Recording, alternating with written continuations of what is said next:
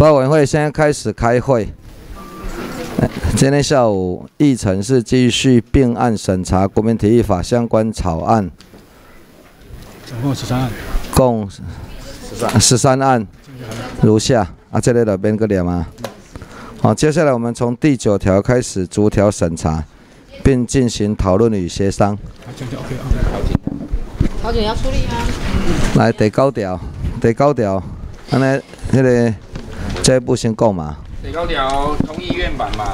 谁说的？没有第九条，我们还是要回忆一下。我们上次你知不知道？我们去年审到第九条的时候，因为有关于国民体育所需要的经费嘛，对不对？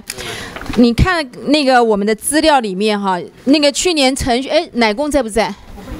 因为去年那个招委陈学生有特别提到说，能够提供资料给委员，特别是蒋乃新委员有需要很完整的国民体育经费的资料。然后呢，他他那时候还特别讲说，若这给蒋乃公，那我们这些怎么办？大家还有印象吧？啊，我请问一下体育署资料在哪里？还有呢，到底是那个国民体育要增加多少经费？这是上一次我延续上一次我们的讨论的这个部分。还有各级政府应该编列多少？这是上次我们跟体育署要的资料。可是从上次讨论完到现在，我们都没有能获得任何的资料过，都没有任何资料啊！哎，这样送上来，现在这个时候放来很奇怪哈。这是这是应付第这是应应第九条吗？对不起，这第九条吗？就是你给奶公的资料吗？你们有之前给奶心兄了吗？之前有给了，好，之前那有给他了。给我们呢？上次不是说要给我们吗？之前有先给那个。对啊，我我都还帮你回忆啊。陈学圣还说给他之后，那我们是每个人都要，哎，每个委员都要，然后都没有都没有给我们啊。你可不可以稍微陈述一下，好不好？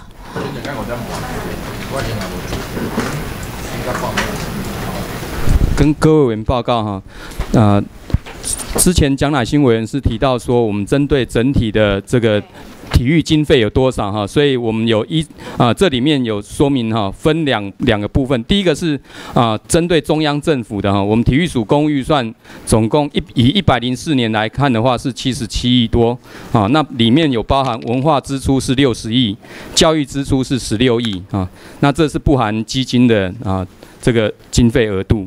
那另外在地方政府是啊，包括各直辖县市政府、县县立体啊体育局处长这些的预算啊，那这个部分都包含在里面。那这个是在我们的运动统计里面是每年都有调查有这个数字的。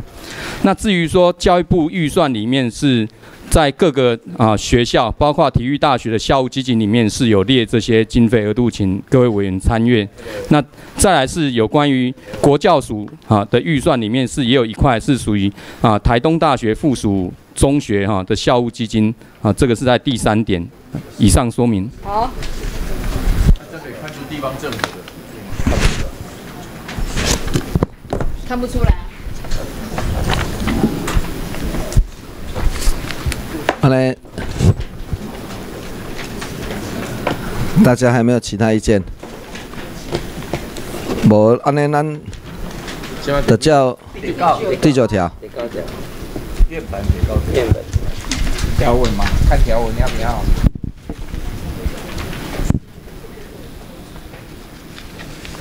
嗯，实施国民体育所需经费各部完，这是一个花。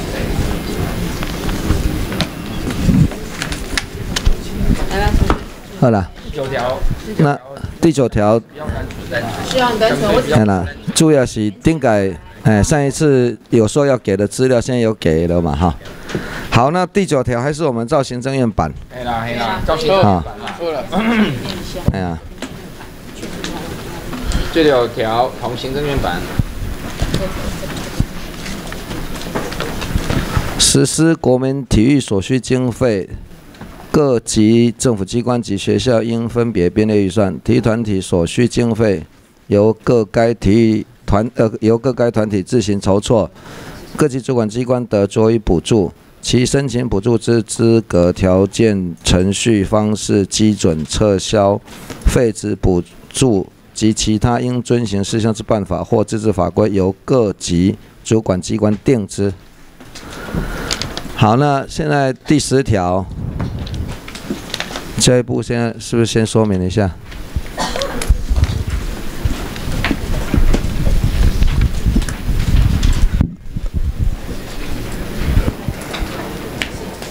呃，第十条部分，我觉得呃，委员的意见都已经有纳进来了，那是不是能够照院版通过？第十条啊，第十条，第第十十条，要不要放身心障碍那些东西？如果不用，我我也 OK 了。黄国谢谢书委员是有放身心障碍嘛？嗯，啊，那体育署是说已经有放到后面啊，好啊好啊，没哎没问题，这个没有。没有问题哈。好，没有问题，同意院版了哈。第十条，中央主管机关应建立体育专业人员之进修及检定制度，前项体育专业人员之范围由中央主管机关定之。各体育专业人员资格检定、证书核费、校正换发、检定费及证书费之费额、证书之撤销废止及其他应遵循事项之办法，由中央主管机关定之。好，那再来第十一条，下一步啊，好，那个我们智恩先有问题。第十一条哈，它这个条文其实它的逻辑上是有一些问题的。大家看一下啊，为了制定全国体育发展政策及订立地方体育发展计划，我们订立这两个主要的目的是要来健全各级学校学生体魄，提升国民体适能及培养运动选手参加国际赛事。我个人认为说，全国体育发展的政策是一个非常整体性，它应该应该是一个非常大的目标跟方向。然后你最后把它那个措辞把它延伸到，呃，来提升来提升国民体适能，培养选手。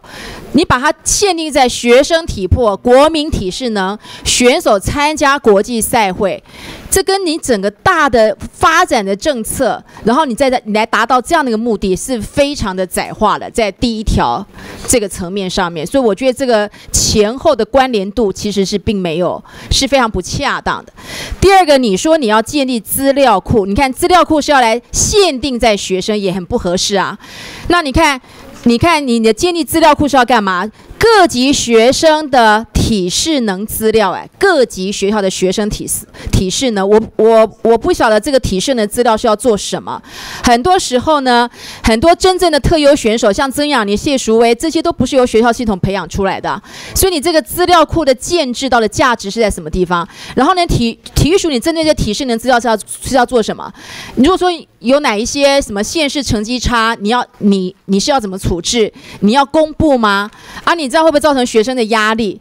还有呢，这些学生的体适能，万一你做这些训练，会不会变成那个全校那个学那个学校里面群体，好像就要就要特别来来来来去拼斗这个部分？所以到底做这个体适能的这个问题在哪里？是这整个第十一条里面，我个人认为在条文上面是没有办法达到完善的一个缘故。好啊。简单说明一下，体适能是先谈那个国家政策以培养，我觉得这个太狭隘了。先谈第一个，好吧？我们从这个过程来。最佳是我先从后面反推回来，体适能最佳是一个定国家政策，因为从我们依照现现有国民体育法规定哈，我们国小从四年级开始就开始做体适能检测，那体适能该涵盖 BMI 这些你质量指数，还有呃坐姿体前弯、立定跳远，好，还有跑走八百或一千六跑走，这是要建构学生的基本的体适能资料。那从这资料可，我们可以了解一下各个学校或者是各县政府他们的一个学生的体适能状况到到哪里哈，这可以。做一个国家未来政策的推推推动一个参考。那另外，我们在十二点国家基本呃升学比序里面，我们也把体适能纳为升学比序条件之一了。所以每个选手都可以利用这资料库自我的体能的呃体适能的一个管理，还有他升学比序，还有人才资料库的建立，还有作为政策定定的参考。大概是我们有这笔资料，大概资料目前有两千万笔左右。好，以上做简单的说明。嘿，那那这样的一个资料库的一个建构之后，对一个未来国国家体育政策的推动跟政策的拟定是有一个基本的参考的依据，这样子。没有，我还是觉得说你是要国家政策还有发展，然后你最主要是要来健全学生体魄、体适能，培养运动选手，跟整个国家大的方向，我觉得这是整个最大的一个问题。你前面把它讲那么大，那你后面只限缩在两三项，这个在在法上面其实是不够不够完整的。所以我觉得大家应该是集思广益，你定了这么大的一个政策方向，你最后只有限缩在这么小的一个范围当中，它是应该要有更更多的那概念进来。好，那建议是，要不要不然我们就把前面的那个字眼先删掉，为为了健全各级学校的学生体魄，后面再延续下来，啊，前面删掉，这样看是不是可以比较延续？对，你会健全，哎，会健全学生的就是把它说的比较小，不要说全国所以你第十一条，你自动把它限缩，不讨论国家的体育政策发展方向，是吧？我刚提出另外有一个条文在在定定在在哪里？第应该在前面，在前面是前面已经在第啊，第七条，第七条，哎，中央主管机关会推行科技跟人，哎，第七条就有一个定全国体育发展政策对对政策，因为因为这条所涵盖的是比较限缩在选手啦，还有国民的体适能。他们最近准备的我都不喜欢。第十一条的确是只有那个地方，对对对的确是只有那个地方。我我先看第十第七条，应制定全国体育发展政策。我等一下，直辖市。做一下就走。定定地方体育发展计划。因为第十一条前面前面那一些讲的力大，然后后面接下来我们我们我觉得简单说我觉得还好啦，我觉得这个是还好啦。没有，这个还是要把它都搞定。这个哈，我好了，换换来来，处长处长你哎，报告招委各位委员啊，那在立法技术上啊，确实是因为立法技术本来的条文只是为了要明确性，然后确实达到目的，后面收集的资料确实是搭配的，为了要提升啊，要健全各级学校学生的体魄，提升体适能跟培养选手。那前面是一个更间接的、更上层的目的。那基本上在立法技术上，有些时候立法目的是写在条文里头的，不一定把写在说明里头的，不一定要在条文。那我们整个国体法的大政策，其实在第一条就讲了，嗯，就说整个立法的目的是在第一条。那第七条是讲说我要所以啊制，定政策，如果是这样，从立法技术上不讲这么清楚在条文的话，你如果确实可以依照刚刚体育署的建议，就是说为哎。健全各级学校那个往下走。这样比较逻辑上比较那能够限缩啊，你不用把一个给我那么大，然后你是是是。那么小，然后之间之间落差那么大，对不是对？好，好，我来询问一下好不好？这一条应该它的主要目的是要建立档啊资料嘛，对不对？资料库嘛，就人才运动人才的资料库嘛，包括学校的。那刚才柯委有提到说，有些，譬如说我们现在都以学校体育为主嘛，那有很多社区体育的，像那种那种 club 那种的那种国国外那种俱乐部的那种呀，像桌球也有啊，台南的桌球的俱乐部，它不是学校训练的。那像这样的资料是也有就对了。对对，资料库是国民体适能另外再再另外会再收集的，哎，但是那个对象还有优秀选手，优秀选手基本资料库我们也会留在留在这边。因为我看这一条主要好像还是以学校体系的教育体系的为主嘛，哦，对啊，它的范围其实非常小的，你不用把它扯到那个全国的政策。我只是要了解说定这一条它的目的是什么。如果目的是这样，我没有意见。资料库啦，这一条其实主要是要建立资料库啦。那个科委员的意的意见，我也觉得很有道理了哈。但是如果你不要看院版的条文，你看黄国书的条文，你就觉得通了啦。你要不要看你给它通啊？真的真的，我的条文跟跟我就在隔壁，跟行政院院版的哈有稍微，也就是说，我们要做什么呢？不只是要培养运动选手参赛，我们还要做什么呢？要做运动选手的培训、发掘，还有相关学术以及运动产业要应用嘛。我们要发展运动产业，我们前几天不是审运动产业发展条例吗？那运动产业也要用得到这些资料库嘛。好，你如果把重点放在这里的话，再去看前面的，我们要制定全国体育发展政策以及奠定地方体育发展计划。这样子的文艺下来的话，就通了。通了，通了。嘿，所以柯志远，你来框外颁布你的张家公，有衔接了，衔接起来比院版要好啦。嘿，我我我不敢说百分之百完美，但是应该是比院版要好一些啦。因为你的涵盖的范围更广。当然啦，当然就是因为涵盖的范围要这些，所以才会才是跟相关的体育发展政策扣连上的嘛，不是只是你刚刚说的单纯哎呦就培养选手那样的事情而已嘛，哈，对不对？啊，这个就有点扣连上来了啊。然后这个资料库啊，我的版本在后面跟院版有一点差别，就是说我有考量考量到各自的问题了，好、我的条文里头有设计，就是说，在未成年的资料你要移转的话，要经过法定的监护人要同意，这个把它放进来，可能可能会比较好了哈、然后相关资料的那些应用要符合去识别化的那个原则，我觉得这个原则也把它放进来，不然的话，好会好会有各自的问题。好，这个这个来，后您说。报告报告，后面各自的问题，依照各自法第九条第二项第一款的规定是有些除外免告知的哈。它依照第八条是免告知，我们最主要目的我们是公务机关特定目的哈，事前事后有适当的安全措施哈啊，我们会盈利的，所以对当事人没有不利的影响是可以免告知的啦。所以我们希望说，因为这笔太大了，学生四五百万人这样告知下去就不得了了。哎，对对。然后当然，我的用意还有说，就是说给选手他有选择的空间啦。我的个子要不要给你们这个问题啦？比如我呃，我国小我有我是体育之优，那比如说我到国中还是我，比如说我到高中，我就不想了，我要升学了，是保留给他们有一个选择的空间了，是不是还要跟着这个资料，还是要还是要留？对，哎，这个这个你们考量哈。你们当初没有，我觉得黄国书版本的确它所涵盖的部分可以前后比较能够呼应。你们当初没有用它的版本，最早考量的点是在什么地方？可不可以说明一下？是因为它的它的东西的确是比较比较衔接度比较够啊。是，跟你们原版比是不起来是针对各自的部分先跟委员做报告？就说各自的部分本来各自法就有它自己的体系，但在其他作用法如果有特别的需要的话，会在个别作用法里面去明定，否则的话就不需要在其他作用法出现各自的规范，就回归各自法就好。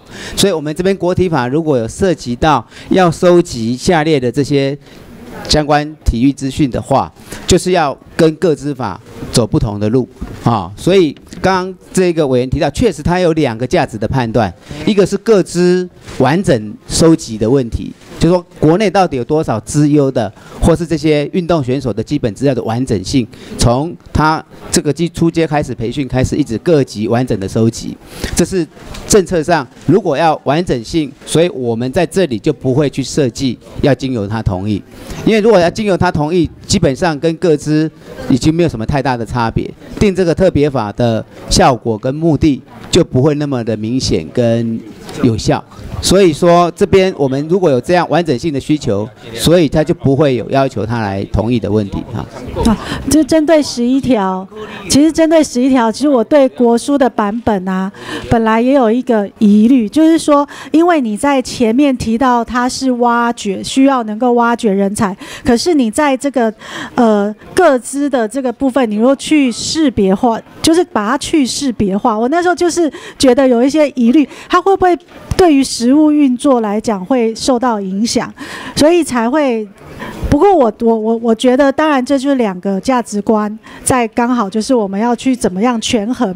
那第二个就是我认为，我本来是想说是不是要两个合在一起，就是院版跟国书委员的版本，因为院版这里头有一个叫有一个转衔的机制，那转衔机制就是代表就是你这个选手或是你这个学生，你到了另外一个地方，他的资料是可以带着走。主要的是这一条本身身就就是资料收集啊。那资料收集很重要，你才会知道一个选手他的一个基础的基本的状况。所以我们能不能考虑，就是说，在什么情况之下需要需要保护，还是说就不要，就直接是依照直接是排除这种个资法，以这个资料收集为目的。来来来先兄，啊，李芬，等一下。我我是觉得国叔刚刚讲到这个各资的问题啊，要当事人的同意，我觉得需要参考一下了哈。为什么这样讲？你看现在最近报纸媒体也报道，你看银行的各资跑出去了，哪里的各资跑出去了？你虽然有各资法，可是各资还是守不住啊，还是对外还会流泄出去啊。那在这种情况下，我们为什么不能尊重个人的意见？我不愿意我的个资流出去，我可以表示啊。那如果通通把它流弄出去的话，它将来各自怎么保护呢？没有人保护啊。所以，所以到时候并不只是他将来他的培育的问题，还有涉及到很多商业利益的问题。在这个情况下，我们要怎么去处理呢？所以，我觉得应该是在目前来讲，应该是要考虑到个人意愿的问题。好，那个丽芬。我觉得在收集个人资料这个部分，最重要就是说，为什么我们要收集他的资料嘛？那这个的正当性，刚刚就讲说是为了要，呃，收集这些选手的资料，然后是要培养他们等等的哈，这样子的，所以我们有这样一个收集资料的一个必要。第二个就是处理，处理就是我们要怎么去处理，怎么去保管。那这边有写到说，我们会指定专人来办理安全的管理跟维护事项嘛？那第三个就是怎么去利用嘛？利用这个部分，我反而是要先确认的一点，就是说我们现在是不是收集到这些资料，只会运用在各级学校他的运动选手要升学跟转学学校之间的运用利利用而已。那如果因为我我们我会觉得说，那个国术委员他那边的去各自化，最主要是之前的鉴宝一些资料被其他的研究团队或一些一些厂商拿去应用，所以才有去识别化的这样的一个考量。所以我只是要想说，这边我们如果说仅限于各级学校在做这个部分的资料转型，或是那个移转这样子的话，我就同意说可以设这个资料库。可是如果我们设这个资料库的利用会被无限的扩大，要去做研究，要去做什么什么，这个部分我可能就会比较保留一点，说我们是不是有要建立这个资料库的一个必要性？所以我想说，在利用这个部分，我们是不是就先说在学校这个部分就好了？那是不是写更清楚一点？嘿，是不是可以写更清楚一点？可以，他们要定等一下，停飞还有意见。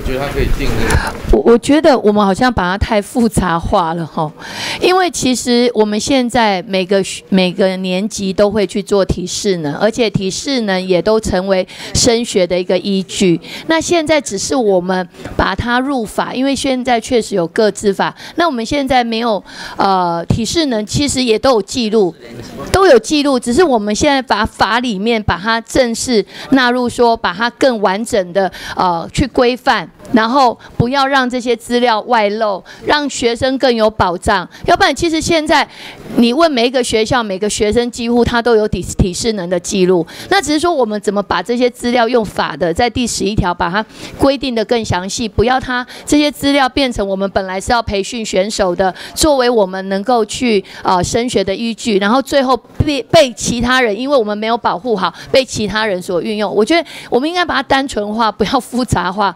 对啊，利用这个部分。对。用途写清楚。来，那个署长，署长。啊，这个体适能哈，跟那个选手那个资料是两两个是要分开的啦。我们现在从九十六年开始呢，对国民体适能就是学生的那一部分，现在已经收集了两千两百万笔。这两千两百万笔呢是去识别化的，它只是要做一个统计的数字。在这个统计的呃数字的应用是将来啊能够啊作为这个相关的学术跟运动产业的这个应用。啊，那另外一部分是那个选手的那个资料，那个资料有一点是说，他从国中如果他跳到高中的时候，这些资料呢是要移转到高中啊，比如说他的整个啊身身体状况，或者是说他的那种成绩是怎么样的啊，这个是另外另外一种，一个是选手的，一个是一般的血统的，还有你的条文上就需要把它做一个处理啊。就是因为你这样写这样，你这样写就看不出来你刚刚所讲的那个内涵。啊，所以你应该一般的是不用再征求了，两千两百多万笔。那你如果选手了，是不是应该要征求？哎，选手的话，我们在这里面，刚才我们呃副署长已经讲过，这个是都是属于呃个资法里面免告知的那一部分的。哎，所以那个黄国书委员的这个版本里面，我们就是把这一部分啊是有稍微修正，啊，其他的都是采用他的版本，哎。没有啊，你其他没有采用他版本，他蛮多的。它里面的详细的这个部分，他后面那个什么？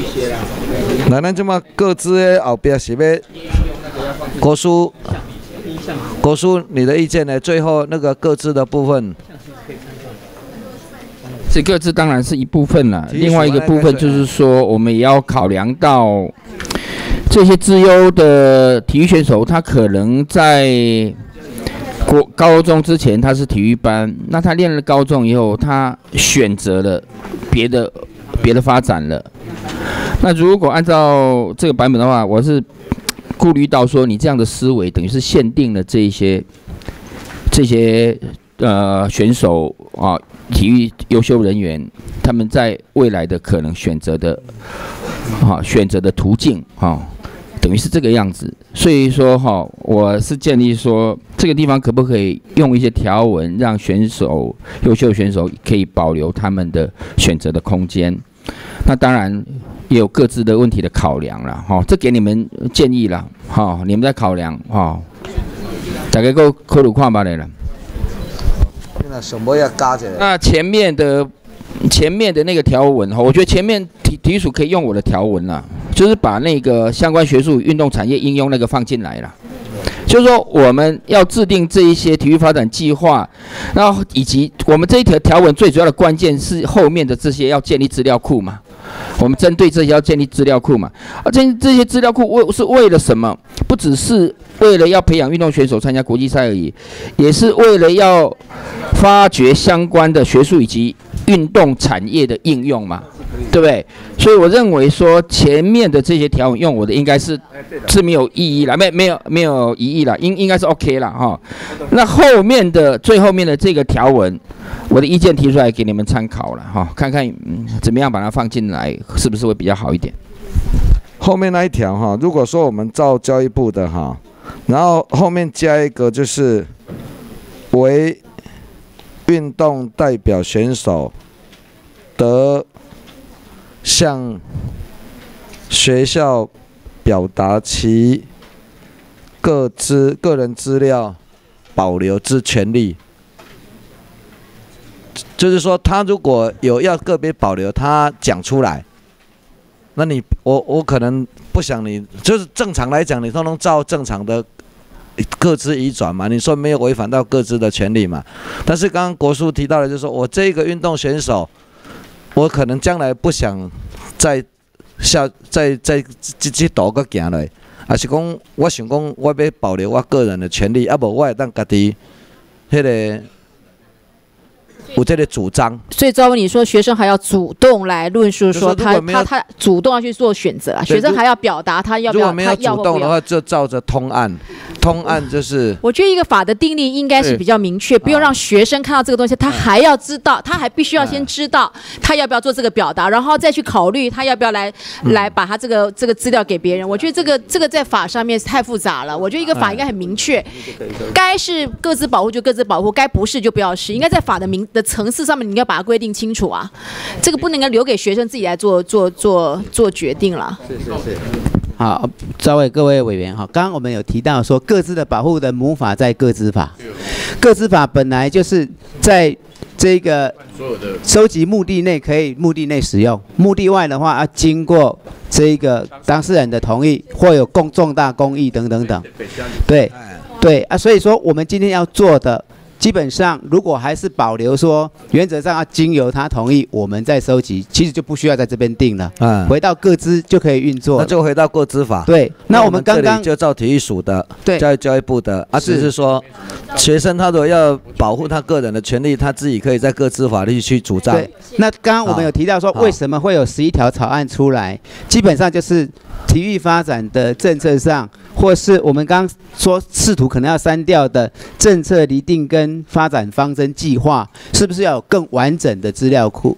而这更完整的资料库，可能跟各资需要经过同意来收集，可能需求是不一样的。因为如果要要完整的话，有时候确实会违背个人的意愿，这样才能够完整。所以体育政策的制定，如果要完整的资料库的话，可能就要在这边落一个根。落一个根的话，我们前面写的看起来是为制定全国体育发展政策或定定地方体育发展方针的计划书。其实这个放进去，其实未来在解释你这资料库目的内或是目的外使用的时候，就会比较清楚。就说你收集这个目的是要用在这个地方。那刚刚委员有特别提到说，那学术研究的时候你不去识别化的话，大家会觉得很不应该嘛。那其实，在各资法里面也有，就说我们收集到的大量的这个个资要提供给学者就是他要专家研究，保留就要他的各去识别化资，。他在个资法就可以处理了。他是要去识别化那我们这里就根据我们的目的去处理，啊，他个别的主张个别在各资各资法去处理啊。到的资料啊依照各执法处理。好，那体育署这样子解释，大家可以接受吗？啊，好，那那前面前面要用国书的体育署这部有没有意见？这 OK 哈，前面用国书的，好，那把它改上去了。前面前前段用国书的了哈，来我念一下哈。第十一条为制定全国体育发展政策及订定地方体育发展计划，以提升国民体适能，并作为运动选手之培训、发掘及相关学术与运动产业应用。各级主管机关得依个人资料保护法相关规定收集、处理及利用下列个人资料，并建立资料库。好，过来的谁登了体育体育署教育部家。对，赵伟，我说我我我刚好都是都叫我来问的呀，就是讲为什么我们定这一条的目的是什么啦？如果说只是因为要收集资料，那人才，然后要做政策，单纯那你现在的政策又包括运动产业，又包括那个相关的学术应用的话，可能又会不会有问题？但是你有运动产业这个部分，才比较能够配合前面那个全国体育发展的这这么大的一个政策。如果你只是在建立个人一个资料库的话，你就可以不用把前面定位这边，你反而是回应到你刚刚说的，应该让它更限缩在一个你前面这个大帽子里面就应该把它限缩。国书为什么要弄它那个部分，是因为它才能够跟前面这个大的方向里面能够吻合在一起啊。对啊，就主要是这个地方啊。来，婷飞，呃，我我觉得我刚刚讲的单纯化，就是说，我们今天我们要的是培训选手，我们收集的这些体适能或是相关进一步呃要国家代表队的这些相关的资料，我们都是要培训选手。我们如果说再把它扩大到说，包括发掘，然后相关学术与运动产业的应用，那个范围真的太大了，那太广了，我们管不到。而且甚至我觉得说，我们应该单纯化说，我们我们在学校的责任，我们就是要把选手培育好，我们要发掘选手，在这样的角度，可能他会单纯化，不要去把它复杂化。对，就不要复杂化，那就把那个目的把它改，你就不要写这么大、啊，不要为了制定全国体育发展政策跟地方，你就是把那个目标把它去，你把它限缩一点，然后你后面就可以完全配合了嘛。我这样来讲一下哈，我我大概这样了解，就是说，他其实建立这些学校的体育人才库，然后要定定相关计划，就是要配合全国体育政策的对嘛？发展啊那前面拿掉嘛。大概是这个意思全面拿就可以啊。对啊，要不然前面那一句话拿掉嘛，就是以健全各级学校学生体魄。会健全，这样好像比较明确。对了，因为你第一条就有了。健全各级学校开始啊。哎啦，为健全各级。好，好，感谢对。了，安尼就清楚啊，这条目地方，这条目的是啥？这条目的是什么？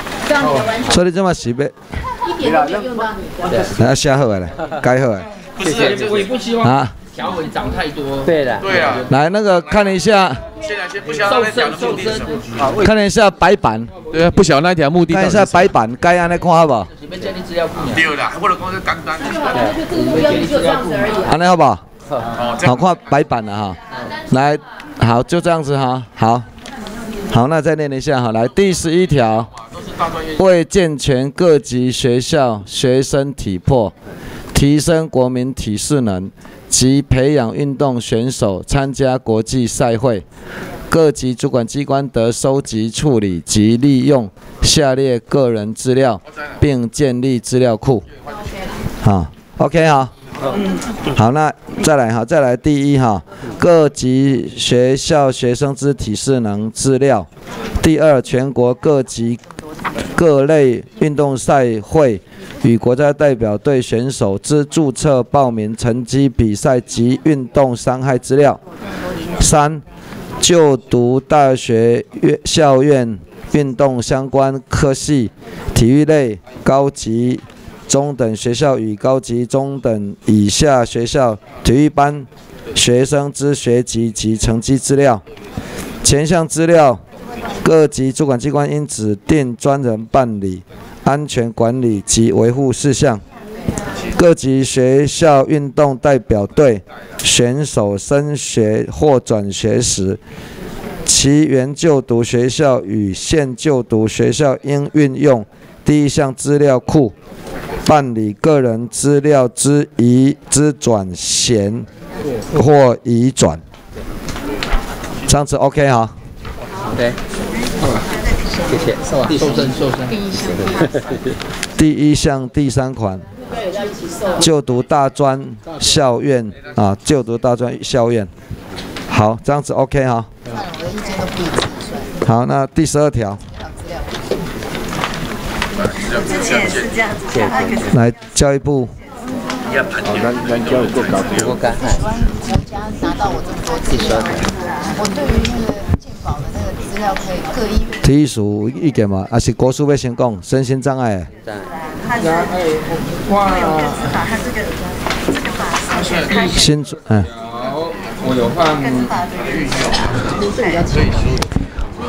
无障碍运动环境跟空间啦。我看这个部分看体育署可不可以放，我没有意见啦。做不做得到？对啊、都今日做袂到安尼啊。好，体育署诶，体育署啊，你诶，我我们这样建议就是说，我们加这条文再加一个运动设施放进来了哈。但是呢，硬体的部分，因为我们在四十三条已经有规范了，就放在第四十三条里面规范。好啊好啊，没问题啊，这没问题了啊。所以十二条是在，就是后面加入规划适当之运动设施与体育活活动课程啊来，好我我我可不可以建议大家可不可以思考一下那个课程两个字要不要放进去啊？这其实是我们学校很多身心障碍同学的一个想法啦。他们认为说这个课程其实比较是严肃，因为他们常常学生是觉得说要透过体育活动的参与，让自己忘记自己是自己的这个障碍，然后增加对自己的信心，他们可以融入社会。可是他们每次提到这个课程这个部分，又开始有他们的一个结构度的一个想法。所以如果说这边只是放成规划适当之体育活动，其实对这些所有的这个学生来说的话，他会觉得会比较觉得是舒服一点了。有没有办法？课程拿掉或好不好？或嘿或啊。课程，啊，或课程。活动或活动或课程。啊，对。安尼好好，对不起，来我念一下哈，有有有，我我啊来那个那个谁有意见？我我刚看到第十二条，就是有这个相关身心障碍的部分。可是如果第十条这边本来刚刚讨论第十条这边没有把身心障，因为国书版的是没有弄进来嘛，对不对？你有第十条啊，第十条你是有加，就是有关于身心障碍运动辅具性别课程相关的这个部分，进修内容有包含。那如果我们十二，我们第十二条是有相关这个课程，却没有这样的培养，怎么办？对啊，这在办法里面就会定，对办法在办法规定吗？执法会在定，那那个执法会会定。第十条是叫叫院版。行政院版呢？所以高路讲的那个四黄国书的版本，那个没有放进来。啊。就是请他啊，所以搞论文章子没问题哈，他那个没有放进来哈，嗯，好，那十二条，啊，十二条，各机关、机构、学校、法人及团体应保障身心障碍者之体育活动权益，规划适当之运动设施与体育活动或课程，好，这样 OK 哈。进修了，证照了。好，十三条。把它放进来了。设施有啊，挨了挨了，运动设施。啊。再找一点。十一条，这个另外的吗？好。对，这么十三条。十三条，跟黄委员的。十三条。一样。哦，都一样。哎，一样，一模一样。一模一样，一模一样，有没有人有意见？没有，没有，没有，没有意见。所以给他也请进了，全票。通过。各主管机关，请进来，不是赶快吗？各级主管，赶快了哈。嗯。自治法，十三条。哦，加一个行政院版加一个货自治法规啦，啊，这无差啦哈。好，安那叫叫行政院版，好。好。十三条。为促进国际体育合作，提升我国国际体坛地位，各级主管机关应积极推动国际体育交流活动，其推动方式、经费补助及参与国际交流活动，应遵循事项之办法或自治法规，由各级主管机关定之。好，好，再来第二章学校体育，张明有没有问题？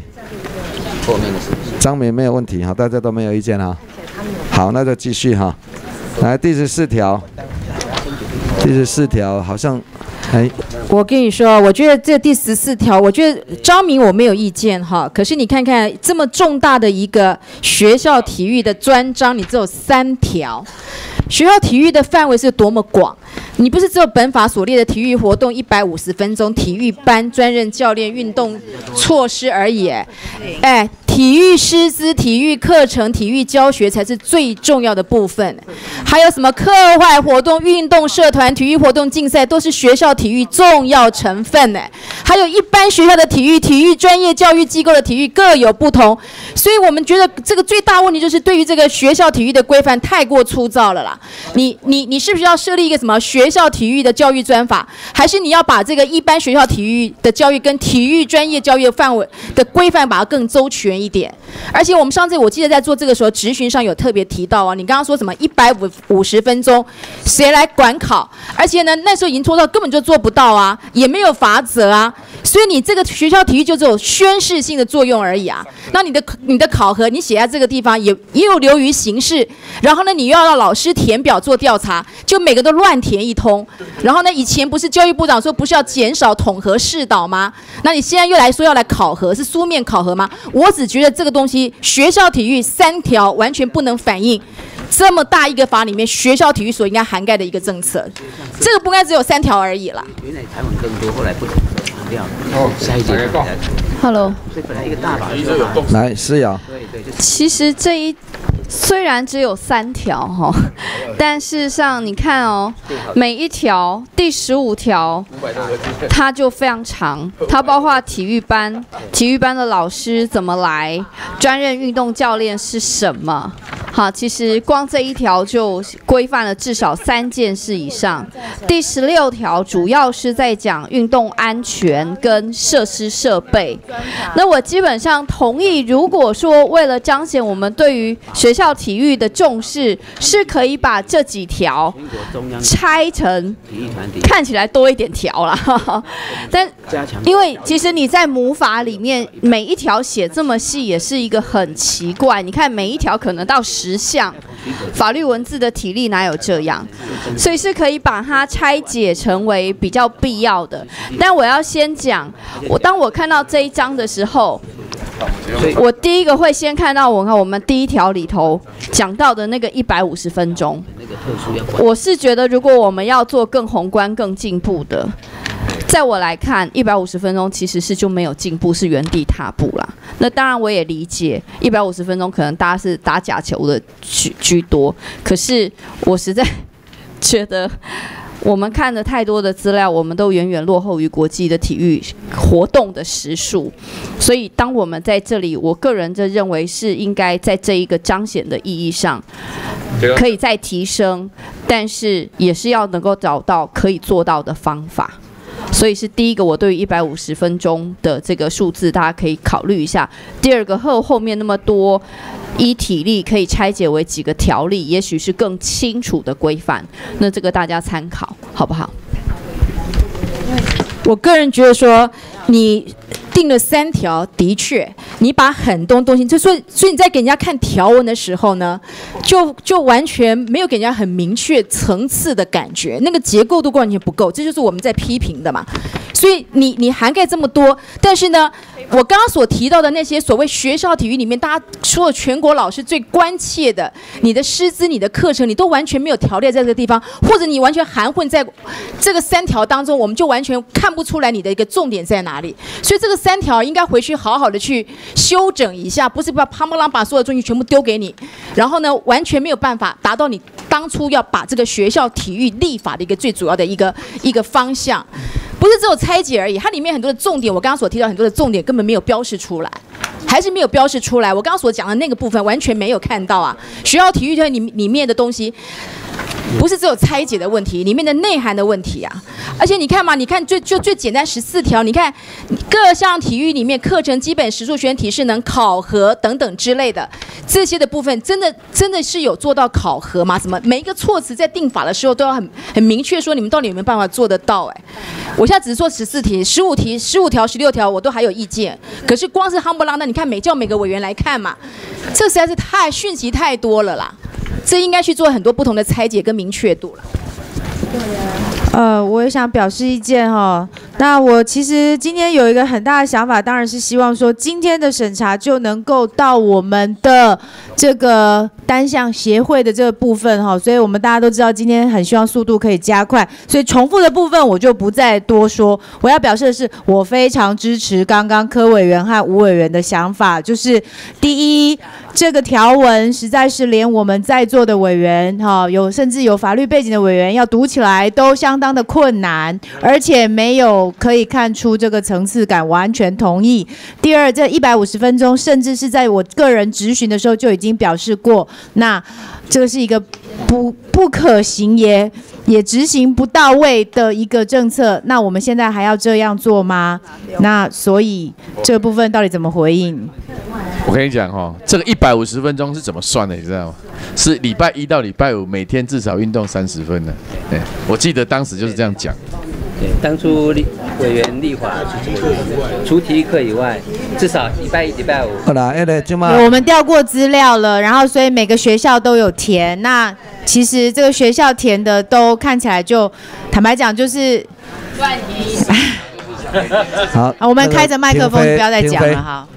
停停飞。我呃，那个招伟，我我是不是一个建议了？思瑶。呃，就是说，因为。确实，学校体育，我想在这三条里面，大概我们都已经把想要说的、想要去改都把它纳到里面了。可是，是不是真的让大家觉得是每一条的条文真的太为繁？对，太为繁繁。这一步不是在做条文，是在写作文了。对，所以我们是不是在这一块，是不是建议招委说这一块是让教育部先去把它调整好？好，因为学校体育这一块先调整好，把它分散开来。然后调整好，要把它分为几条，好，这样子我们再来讨论。好，好，思瑶要不要发言？呃，我也是同意，就是先保留，让他们去拆解一下、整理一下条文。但是刚刚柯志恩委员提到的，呃，我觉得这三条里头唯一可能漏掉的，其实很多是有的啦，智恩姐再看一下。但是那个师资培育的部分，确实我目前看到师资培育是比较没有被提到。好，那没关系，你们你们要提出一个说法。好，有其他法令的话，那就先保留，你们去拆解回来，现在就不用再说明，不用再补充了。好了，那个那那如果是要这样用保留的方式继续处理的话，我觉得就大家就应该对这个十四、十五条、哦、十六条就这大体的表示一下意见，因为第十五条里面也还包括体育专班。那这个部分的话，因为上一次我们有开过公听会，这个体育专班到底它未来在学校里面它的角色定位以及授课的内容是什么？有没有一样，还是是这种呃坊间所的大家社会上通称的精英式的教育，好、精英式的训练等等，好、集中式的训练等等。那这个部分，我也希望说，如果真的是保留，重新提出一个整理过的版本，那这些体育班的教学内容等等，是不是也可以有有所回应？谢谢我我我觉得，如果说是那个像巧慧委员所提到体育专班，对不起，我是不是也要回应一下？到时候你们可能在拆解的时候，是不是可以注意一下？你看，目前体育班都要设置专任教练哦，但是你们都没有确实落实。我随便举个例子，像高雄，他少子化减班，市政府应该有多出来的经费员额，可他并并不是没有员额，可是地方政府到如果他不愿意配合的时候，你有没有法则？你体育署有有有没有办法去做这个？我对，所以你这个东西的话，你知道，你如果没有法子的话，你只是宣誓而已。这些东西都在你的条例当中，你刚刚说都涵盖，对不起，还没有没有定得很清楚。我刚刚说，你如果起起起码你都要做层次上的分别，把我们刚刚所讲的这些部分，你都给它列入考虑。万一地方政府不不不愿意配合，你体育署有没有办法做？还有你刚刚说体育班的部分啊，目前体育班是以奥运跟亚运有的运动项目为主哦，像扯铃并不是在内哦。可可是你看，我们看到很多新闻里面，像那个苗栗的学校里面，哎，征战国际四年一百面金牌，哎，可是呢，你八成孩子上有有意精进，但是民俗体育算不算体育班范围？我只是提出来，你们都可以把它列入，到时候层次出来的时候，我们就省省下很多的时间，把我们的这些意见全部反映出去嘛。还有你这个有关于你最后本条最后一项的有关于那个九十二年前后的这个有关救治的运动教练，目前为止还有七八十人没有转为正式的哦，没有办法用体育人员的试用呢。其中有些是真的是很不错的，那你是不是要给他们做什么辅导？然后呢，你到底要怎么把它是不是可以从约并库变成正式？这些部分都是反映在你们条文。如果可以的话，反正既然这都是保留，就把这个部分也好好去找它做一个规规范一下，这样大家未来讨论起来，其实就不用浪费很多时间，好不好？那我也大体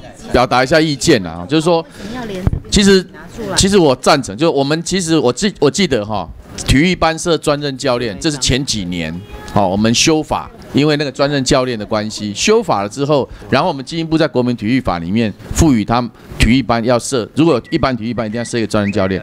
那我建议就是说，我们刚才就谈说，我们谈了很多都是好像宣示性的体育政策，包括我们在 我们在审运动产业发展条例也这样子了。所以我建议说，我们既然在建在做啊、运动人才的资料库，刚才也建立了，那我们其实对于体育班，我举一个例子哈，再举一个例子，就是说，当我们重视一个政策，我们希望这样推的时候，其实我们常常面临到有政策，但是没有行政资源相应配合。我举个例子，我们消防法设立的时候，我们说消防人员跟警消要要脱钩，结果我们说要多少编制，结果一下子政府没那么多钱，所以呢，他就变成我们在每在基层县市议会在审查预算的时候，就会一直要求他，他明年要增加多少，明年要增加多少。好，现在体育班我们因为政策要求他每一个体育班都要一个运动教练，那我们体育署这边我建议，我们既然有这个法了，我们就应该要去盘点。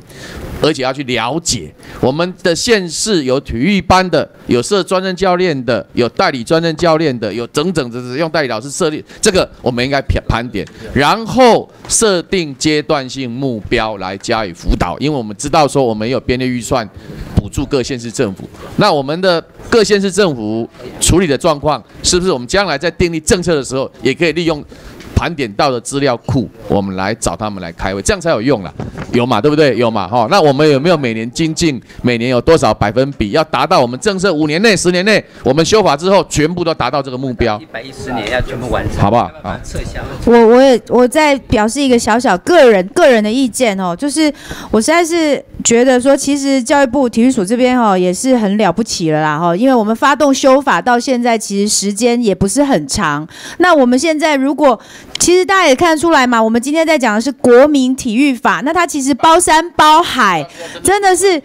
对我们本来是要讲体育团体，那其实现在学校体育我们也有很多的意见。那其实你要把所有的学校体育这个政策研究好，放进这部法律里面，又要面面俱到，什么都要改到，包括我们每个人的意见就不太一致，从教练师资，然后到课程内容等等，都要他一次把它完成。其实真的是相当艰巨啊。那现在又要求你文字要精简，好，要又要把这些所有东西放进去。所以这部分要怎么放进去，我也还没有替你想要解方啦。但是我们还是作为立法委员，还是要要求啦，就是。技术上，嗯，就是我没有在做，这他们在看呢。我告诉你。哎，赵伟各位委员，我的法制单位可以从刚刚各位委员指证的，我们确实十五条的条文非常的长。其实它是现行条文，十五条只在处理体育班跟专任运动教练。那各位委员会觉得说，我们这次的修法，尤其到了后面第七章的设施的时候，会只剩下一条。其实当时业务单位在拟的时候，条文是更多的，但是有些是还没有共识，会有比较大争议的。那这一次最迫切要解决的是。体育团体，那体育团体当然待会说专法或专章，刚一直委员又垂询，是不是容我现在一次讲清楚？就说专法跟专章在立法技术上都是可以选择的，并没有什么不同，就主要是说专法是不是有一个完整的量。可以成为一个专法，亦或是要维持国民体育，包括体育团体的完整性，是当时考量的。那如果是体育团体的话，依照体育署的统计，包括中央全国性的跟地方性的联谊性的，总共有四五千种。那我们这次要处理的就是具有国际会员资格的八十几个而已，十分之一不到。另外四五千个联谊性的社团是依照人团法的规范，那人团法现在也在修法。未来体育团体会可能归为社会团体法专法去规定，但是社会团体法会更松绑，比现在的人团法更松绑。现在是许可是未来会走向登记制。那如果我们要定一个体育团体专法的话，顾名思义，应该是把所有的体育团体都纳在这个专法里头。除了要高密度管制的、具有代表性的全国团体的话，其他四五千个也要进来才对。但是四五千个，我们现在在教育目的事业主管机关、就体育主管机关的立场上，并没有要提高它的管理密度。这个是回归到体育团体法，那这个人民团体法未来的社会团体，它不止没有要提高规范的密度，反而还要放得更宽。所以说现在我们当时就是考量到说，如果这现在定专法，专法要名实相符的话，其实不应该只有管八十几个，应该是所有的体育团体应该都要管的。但是现在对于体育团体全国性的部分，我们第九条的部分在资源挹注补助的部分放进去，各级体育。团体的部分，有关于禁药的部分放进去，好，这个比较重要的部分放进来，所以我们这个地方在院里面政策上，原则上还搭配了人团法的修法，以及我们在体育团体管理的政策的密度的不同，立法的阶段也不同，所以这个时候你如果立专法的话，那四五千个低密度管控的放进来，我们的规范的体制。不是我们当时设定的专法的目标，指涉的范围对象，就是具国际赛窗口的全国性体育组织嘛，就是这个样子，就是这个范围，就是就是针对这八十几个体育团体嘛，那当然包括亚奥运四十三个单项协会嘛。其实就是这样，因为为什么必须要高密度的去管理他们？因为他是代表，他他有非常多的权利嘛，他具有国手的选拔、训练，然后出安排出赛赛程的规划等等，他等于是国家赋予他们权利嘛，这当然是要高密度管理的，这毫无疑问的。所以我们当时设定这个目标，就是只是要规范这个东西而已，我们并没有去规范四五千个，那个给他们自由发展就好了，那个政府的手插进来越少越好啊。他的解释，现在他刚刚解释是说，如果要专法，可能就是要专法就是针对八十几个来处理就4000个好，都没有人要去把它处理限制四千多个对啊，啦谁要我们现在就是谁专章啦，谁要去处理四五千个。现在就是在讨论专章了啦，你就不用再去讲那个专法的问题，现在就已经在讨论对专章了啦。今麦都嘿啦我知啦我知啦，今麦都讨论专因为我们今天也是国体专章了啦。法了，现在已对啦经讨设了啊，已经设到家来啊嘛，对啦你经过一啊？另外一个跟委员报告就是白猫黑猫都是好，都是对抓，但重点是要能够抓老鼠啊，你不会抓老鼠，黑猫白猫也都没有用啊。包包围。另外一个就是因为十三、十四、十五的这种问题，待会后面条文都会遇到。就是说，现行的条文不是现行的条文，比如说我们嫌第十五条太长，其实它就是现行的条文。它现行条文过来的。对，那现行条文其实目前大家有高度共识的部分，先着修。其实十三你的现行条条文本身就有很大的问题。刚刚我们涵盖的内容没有办法，我们我们不能说现行条文就应该要如如此。趁这现现在趁现在你要大修的时候，就赶快把它的层次、把它的结构度全部把它完整否则的话，你还是没有办法解决这个问题。你叫国民体育大法，哎，如果可以这样最好了，但是现在就是啊，有我我也希望时时效的问题啦。我是不知道你们我来，我呢建议啦哈，国叔，坦白讲啦哈，当时要下伫国民体育法的目的，也是要处理单项协会嘛。而且国书体的体育团体法也是要处理单项协会嘛。他、当然当时是认为说放进去国民体育法里面的专章会比较快，所以当时的想法是这样嘛。当然都是但你这么讨论的，我发现你讲了十四、十五、十六哈，你现在呐要把条文变成呃，本来条文变成是作文，要把作文搁变回条文，啊，这么大家哈，搁要搁后改搁改哈，这个真的是大法，要让要让我们每一个人哈意见都一致哈。啊，其实哈，体育团体法前几天智恩已经询答过了嘛，询答过了，我们已经可以直接好逐条讨，我们直可以直接用体育团体法直接进入逐逐条讨论。那现在只是国书的版本有了啊，现在行政院没有版本，体署有没有办法赶快小修一下国书的版本，当做行政院的这？才是最大的部分我们所有的委员，这才是一个最釜底抽薪的方式，啊。我们可以速度很快的就把体育团体法修过。国体法这家慢慢来修嘛。啊，国体法因为哦，这里就好杂诶。太复杂，太多东西要放。这个而且哈，你经过我们这次修了以后，说完全没改，或者是哈又改的阿萨布鲁宫啊，阮这改改，阮这改要负责，啊这是顶改改没有的。，哎，啊那个张伟，张伟有一个问题哈。，哎，我都尊重，但是吼，刚刚刚处长处长所说的一个问题，就是说，如果我们要呃把它变成一个专法，就是说专法，我们现在是特定，就是说这八十几个，对。哦，这个呃呃全国性的、世界性的组织，这是这是我们有特定的一个目标。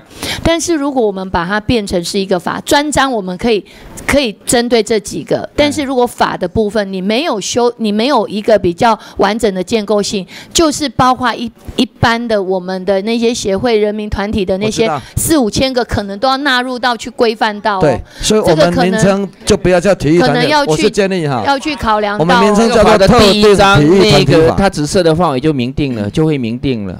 没有没有没有，那你你没有名称哈没有你啊名称对你你名称定账，你就是全部你全部就是一定要去讨建议了哈，论到啊。国术没没问题啊。那名称如果用修改法案的名称也无所谓啊国。国术力的体育团体法，那那个改做特定体育团体法，那特定体育团体就是啊竞技体育团竞体竞技体育团体法嘛，就是说我们把它限缩住这一个范围，那这个范围只是处理单项协会，会不会我们这件事情可以比较早、比较早有结果，可以达到我们的目标？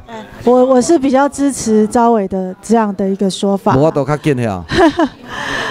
对，我即马那个保健部长、次长、署长，我我即马咧想的是要安怎互这个经过啊？你知意思吧？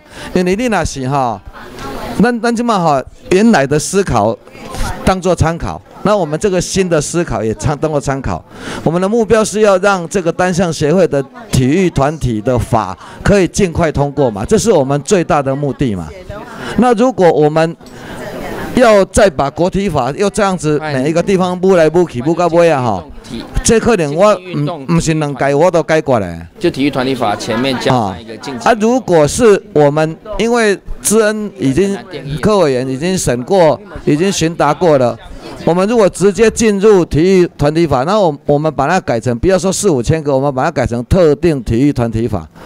那特竞技体育团体法就是针对竞技的部分，那我们就把它限缩到这里，就专门处理这个专法。那这样速度会不会比较快？啊，那我可能一改。反而反而觉得就是针对这个竞技的体育团、哦特殊的特别也是这个意我们思嘛哈我们共识比较高，委员们的共识反而是比较高，而且我觉得专法技术上应该不会有太大的问题。我觉得今天为什么要特别谈到这个部分啊？不要忘记当初我们的初衷是希望完全是里约奥运完之后发现那么多单项协会所发生的问题，这也是国书委员他花了那么多时间长期来把它变成这样的一个条文。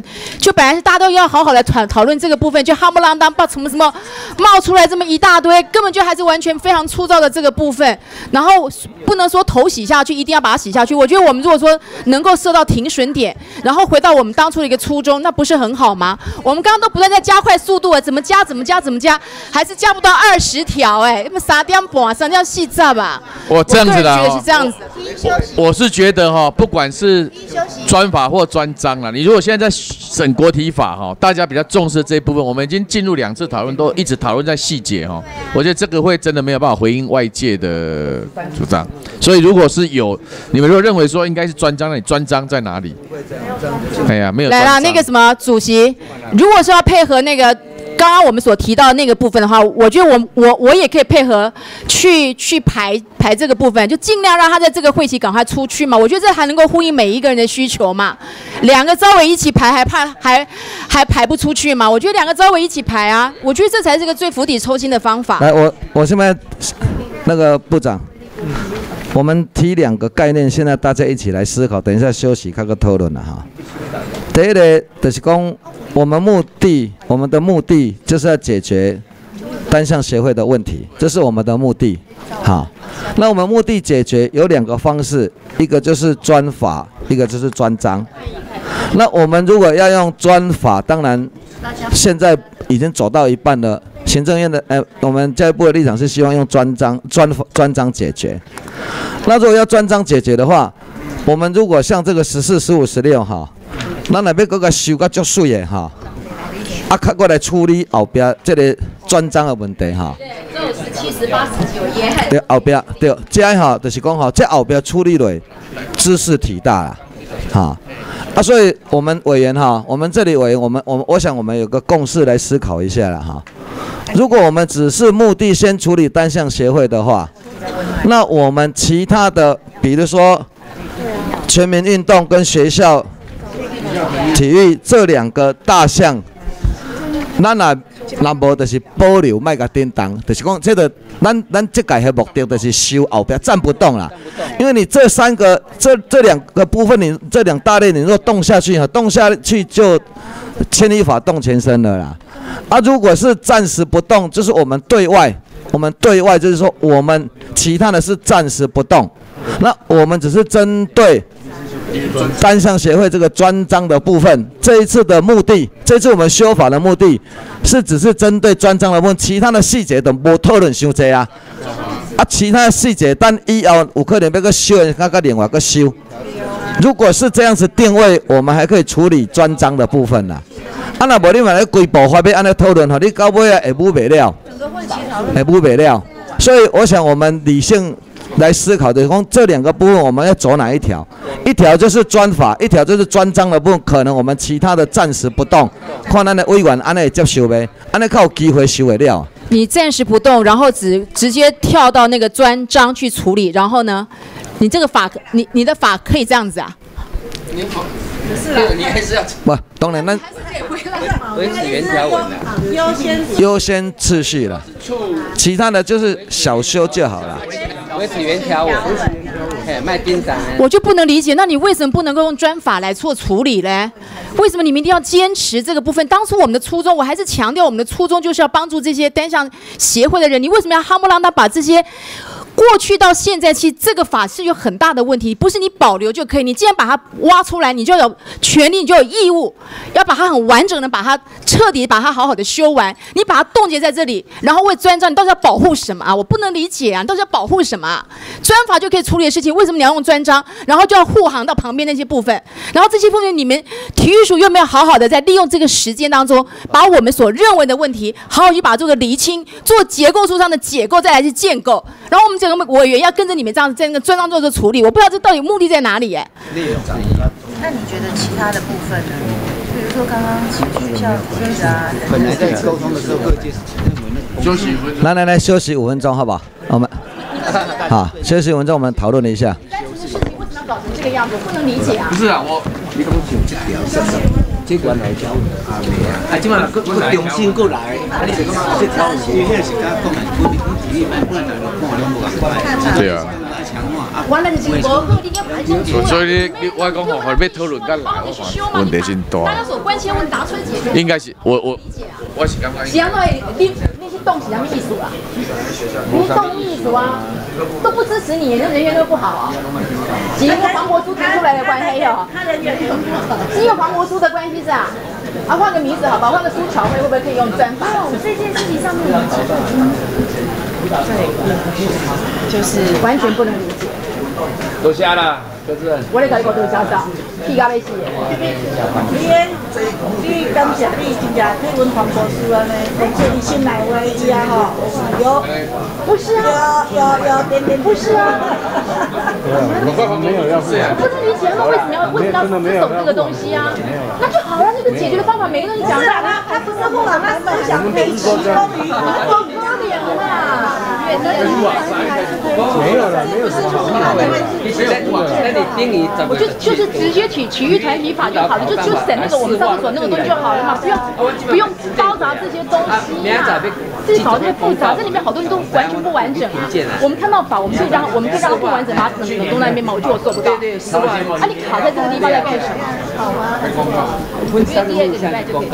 对呀，有有两个就可以开了，我们配合来可以把这个东西送出去啦。才在问说，他们可不可以行政院可不可以出修正动？就是在按照按照现场这边修正动。对呀，就做行政院啊，你们去协调啊，就抽你的修正动议就好了嘛。当然哈，如果行政院有院办的专法，最好。他们为什么没有要自己的班落呢？为什么就把修正动议做专法？我们自己也可以，但是可以是专法。我见啊，那你还没用我办，我你都已经有版本了，就直接用版本来来来修改就好了，在搞什么？你俩根本没有关系的，我也挺关系吗。我觉得可以，本来就是这样子，用你的东西来选就好了，不是比较快吗？我们也有提呢。啊，有啊，对，说时代力量拿出来啊，我那就是台啊，对啊，就你们两个的部分啊。对呀、对呀、而且还是我来排了，对呀、这不是很奇怪吗？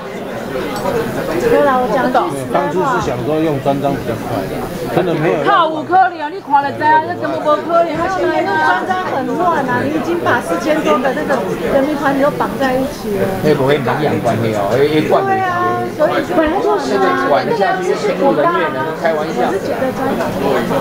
对对，这样的，你都是高密度管理的那八十几。本来就是啊，这个你这四千多我就不能理解了，你们四千多个。体育团体参地铁。对啊，何清楚来告诉我们到底内内幕是什么，怎样闹开啊呢？他，不是好好的，你们当初要好好就是选这个方向我来就就跟他举个例子，人家就讲用国国民团体法会比较快。谁说的？就修正比较不要立一个专法。那陈满共哎，是谁这么没有机会告诉那个人是谁？新合作会报名。我现在换，那根本就是智商只有三只三只蚂蚁的智商。瓜牛瓜牛，瓜牛一个智商三十，三只虫的。瓜牛，瓜牛瓜牛一只瓜牛智商三十，瓜牛可以测智商吗？有他三十。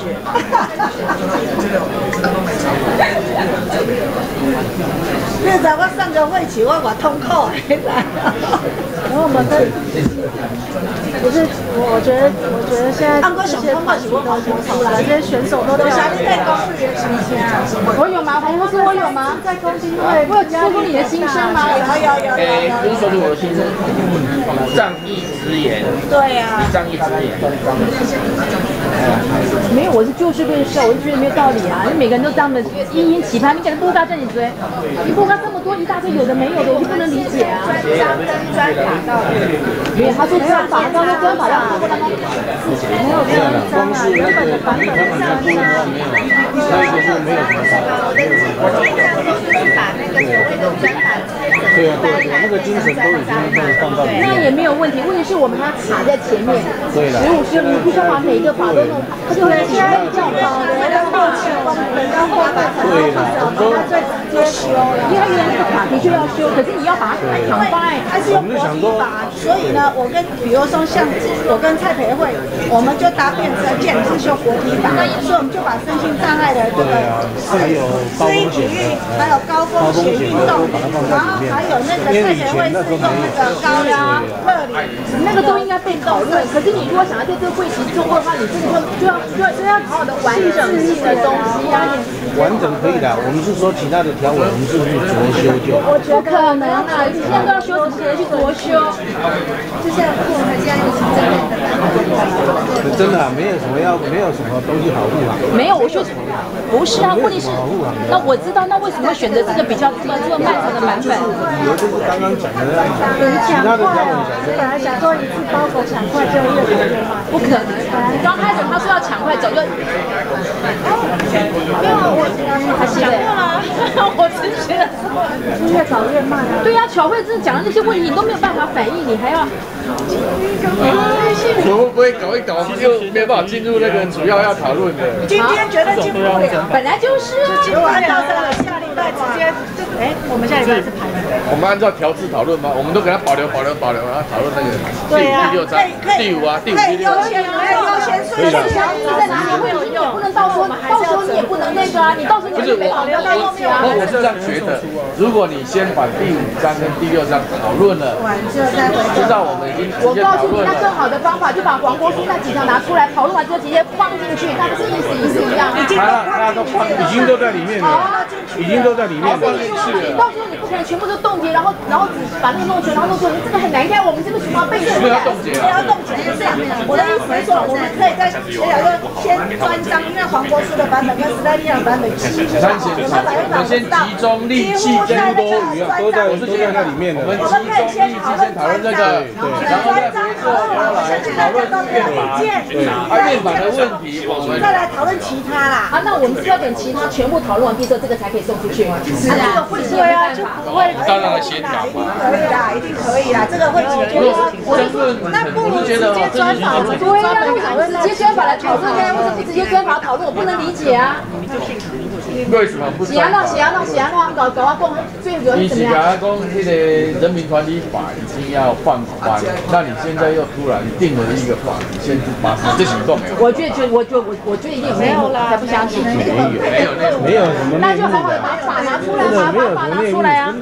当时当时是觉得说，为什么那个那个当时是觉当时是认为说这样比较快，当时是合没有，他认为国体法比较快，你定了一个法很麻烦，还要一个弄反而没有，结果后来反而没有。那当时是何署长嘛？我想说你们当时只要看到这个法就知道，已经不能不可以讲，不可能有没有内幕要问何署长？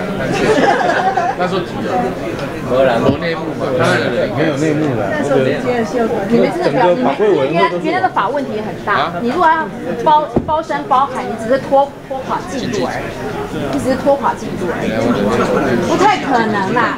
你们原来那个法就一问题一堆了，怎么可能这个时候要到涵盖这样过去？你真的是。但是哦，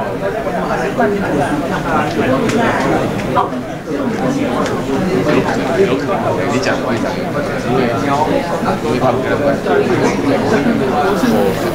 我就不懂为什么上次很生气啊，说国际奥会会这样会违反。那个黄国是要叫回来，他每次都会去摸头，然后然后回来就改变主意。你干嘛叫道吗？他那个每次都，然后每次都改变主意，就把他叫回来，那个不准在那个地方哈，公共了，然后就说他如何如何，然后又没有。丢了，还 有表现很奇怪就好了。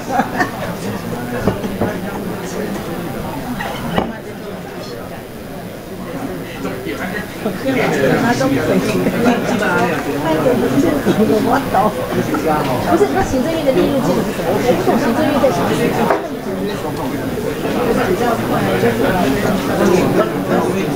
那他那个脑袋瓜，三只瓜牛，他只要两只。以后我们的暗号就是三只瓜牛，小布希是三只瓜，小布是三只瓜，三只瓜。OK，我们以后都以瓜牛来暗号。三只是九十，一只瓜牛三十智商，甚至还有九十的呀，有十而已啊，还有九十。我我个人认为也是，我个人认为也是，把他们的意见都讲出来，然后大家就这个也是。然后每个人每个人就要靠着这个部分，然后大家都去上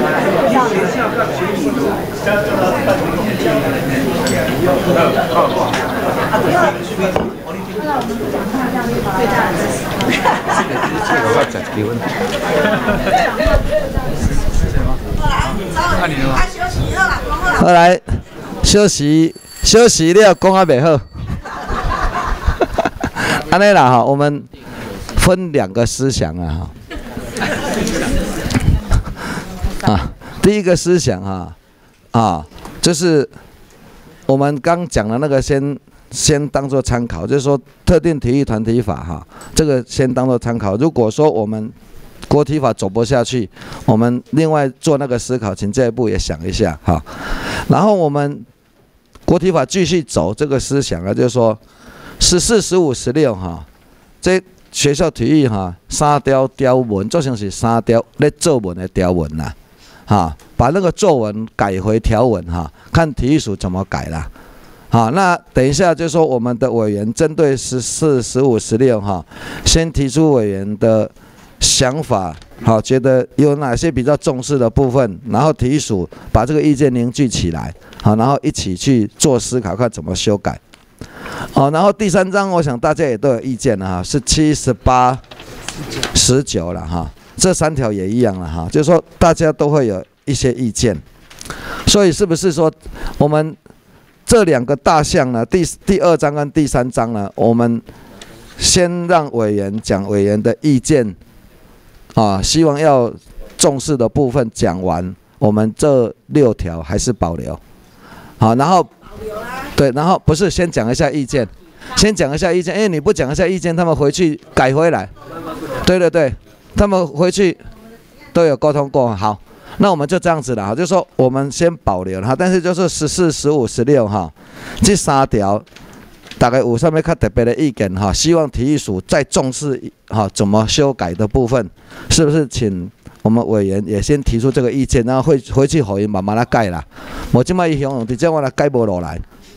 好，那十四、十五、十六哈，那国书十五、十六，我我我十五条，我本来做今天审的话，我有一个修正修呃修正动议了哈，就针对体育班的那个初赛要有一些限制啊哈。我前几天有举办公听会啊，有非常多人在反映啊。学校的体育班，他一天到晚要出去比赛，太多了。去社区的比赛啊，然后很多企业的也会举办比赛，所以一天到晚都在比赛。所以哈，你这个比赛的限制，看能不能也把它放进去啊？这我的修正动议给你们参考了哈。还有课程的教学内容，还要包括生生涯的发展、职能的探索、运动防护等等项目的具体规划，这个都放进去哈。我意见很简单，好，阿春你好，你可以调进。好，谢谢。好，那个我十六。条也有一些，我刚刚十五条已经反映出我的想法了哈。然后第十六条我还是要提到一下啊，你你看你十六条提到，我只要问一下，你说室外的球场算不算运动设施？你可不可以收费？因为蒋乃馨以前质询过嘛，那你是不是体育署在这个部分也要做一个厘清？还有学校有没有经费做运动设施的安？检，如果疏于安检发生事故，责任如何厘清？这一条也是，因为你这条都都都是因啊，你这边都是写因，那你如果说没有做到的话，你也没有法则啊，那就会变成又又又是一个宣示性的啊、所以这个部分我提出来，是不是也在这个条文上面，你们也去做一个处理，好不好？安检还有示威，而且你们弄用应的这个字啊。对了，呃，我我也有版本哦，在十四、十五、十六哈，那基本上就有呃，刚刚黄国书委员的也是一个重点哦。那再来柯志恩委员的这个安检哦，运动安全的措施，还有定期检修、汰换哦，我是希望能够正式把它入法，因为呢，我们在实物面上，我们看到各级学校哈，呃，它的运动设施啊哈，破破烂烂，到底有没有安全的疑虑啊哈？我我们都没有一致的标准跟检测的哈。那如果没有一致的标准跟检测，那危及的就是学生跟使用者的人身安全的问题。而这个知识体大，那入法之后，我也希望能够明确的，因为有入法，所以未来我们教育部。不管是中央跟地方各级政府跟对各级学校的这个运动设施的一个补助，就应该要更积极了啊！哦，我我觉得这是嘿，这是必要的啊，也是为了学生孩子的安全哦。那再来有一个重点是在我们把身心障碍的一个适应教育。呃，适育体育，对不起，适育体育啊，也把它入法。哦，我想这个体育哈是全民体育啊。那不管在学校体育里面，我们现在已已经呃呃强调所谓融合式的教育啊。那很多身心障碍的孩子，他是融合在一般班级，可是他又不能跟一般的孩子一样是做一般的体育运动哈。所以呢，这个部分我们希望入法能够保障他们一个平等，而且能够亲近使用运动设施的一个权利了啊。那这也相对的要要求我们的教育部跟各级教育行政单位啊，要去盘点各级学校里面针对身心障碍孩子的这个适当适应的这个运动设施，还有他们的安全性。好，对对对对对，好，这样子，谢谢。好，巧慧，呃，我刚刚这个第十五条体育班的这个部分哦，我有跟国书委员是，我就加呃。不共提了哈，谢谢了哈。那那所以概念上是一致的。那我现在还是再一次的强调，我觉得这第十四条已经从咨询的时候讲过很多次，这个每星期应达一百五十分钟这件事情哦，写在法规里面，那完全能够理解这个是要这个这个加强哈，促进学生这个运动。的概念，这个完全可以理解，但是事实上到底是做得到做不到？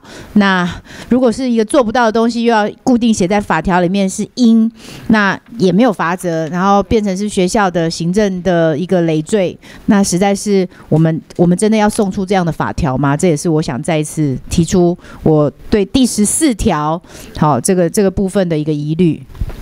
这个我以啊，我以前哈、有有跟体育署要求一个大跑步运动哈，现在好像也都没在做了，有哈，就是讲你学生啊一天就是逐工好走，哈，啊一天走几百公尺，啊其实吼，迄逐工安尼走哈，学生的身体会比较好啦，哎啊其实这个就类似这里这个一百五十分钟一样啦。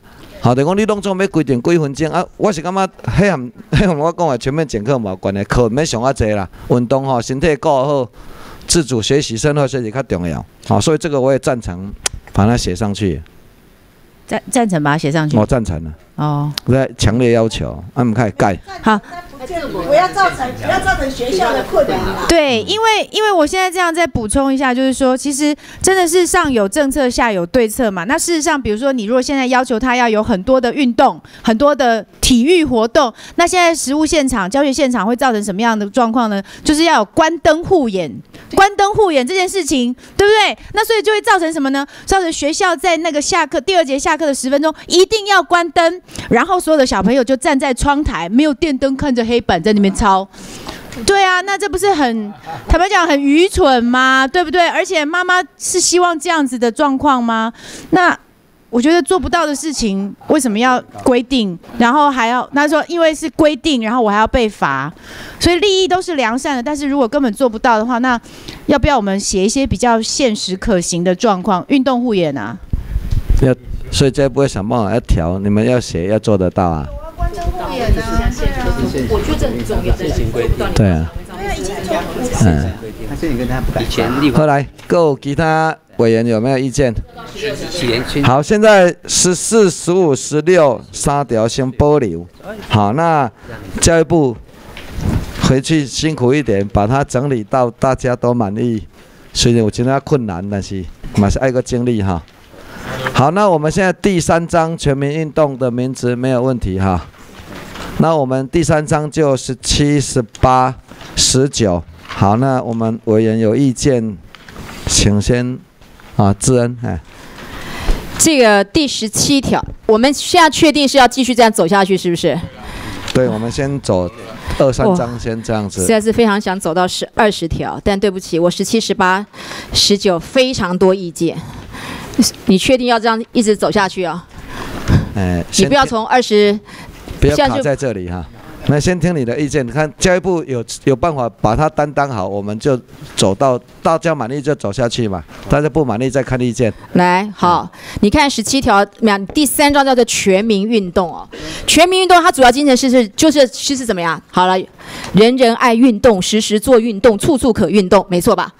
但是呢，你这个全民运动只提实施体适能的检测，十七条；员工体育休闲活动十八条；大型体育活动管制十九条。这个东西完全过于粗糙，根本没有提到重点。这是全民体育，而且呢，做全民体体育检测，哎，很重要吗？啊，然后嘞，体育检测的这个体适能的经费哪里来？与其做体适能，你还不如鼓励员工做运动。所以你这个体育体适能检测还是一样，跟全部全部的法条都一样，宣示性。你怎么落实？我完全不知道。这是第十七条，我还要继续说十八条吗？还是先把十条先说了？第十八条，你看各机关应该要加应哦，是应加强推动员工体育休闲活动。这指的是什么？员工旅游算不算？应该不算吧？啊，如果没有罚则，体育署有鼓励措施吗？马博，好了，员工五百个人以上应聘，啊不聘会怎样？以立法院人数加助理应该有五百人以上嘛，应聘。哎，我们立法院也没有聘个什么，哎，我们立法院有有有聘吗？各位助理，马博对不对？也没有应聘啊，没有应聘也没有罚则啊，啊是怎样？又是一个宣示性运动。现实型的条文当中，企业。现行条有包括企业有鼓励企业推动全民运动很好哦，你现在把它删掉了。而你团体指的是什么？也包括企业吗？啊，这一条自从订定以来没有落实，以后也非常难落实。你定这个十八条到底在干什么？第十九条，大型体育运动加强加强安全管理跟维护参加者的权益是需要。但是呢，你是基于活动越多，国民越有参与机会，应该加以鼓励，而不是加以限制。你现在是加以限制哦，而且可以是公益活动，也可以是商业活动啊，你都要适当的鼓励，而不是限制许可。所以你这个内容是有很大的挑战的一个空间呢。啊，如果都要限制你，你这什么都要许可都要限制，我告诉你，很多人都不要办的啦。那大型体育活动指的是什么？马拉松赛、登山健行运动，多少人算是大型体育活动？如果一百人以上举过举办员工及家属登山，是否也要经县市主管许可？所以我告诉你，这三个法条里面，处处也都是充满的文字上面的粗糙。还要再继续讲，再讲。给别人其他讲。好，那个智恩已经讲很多，再来后面来国书。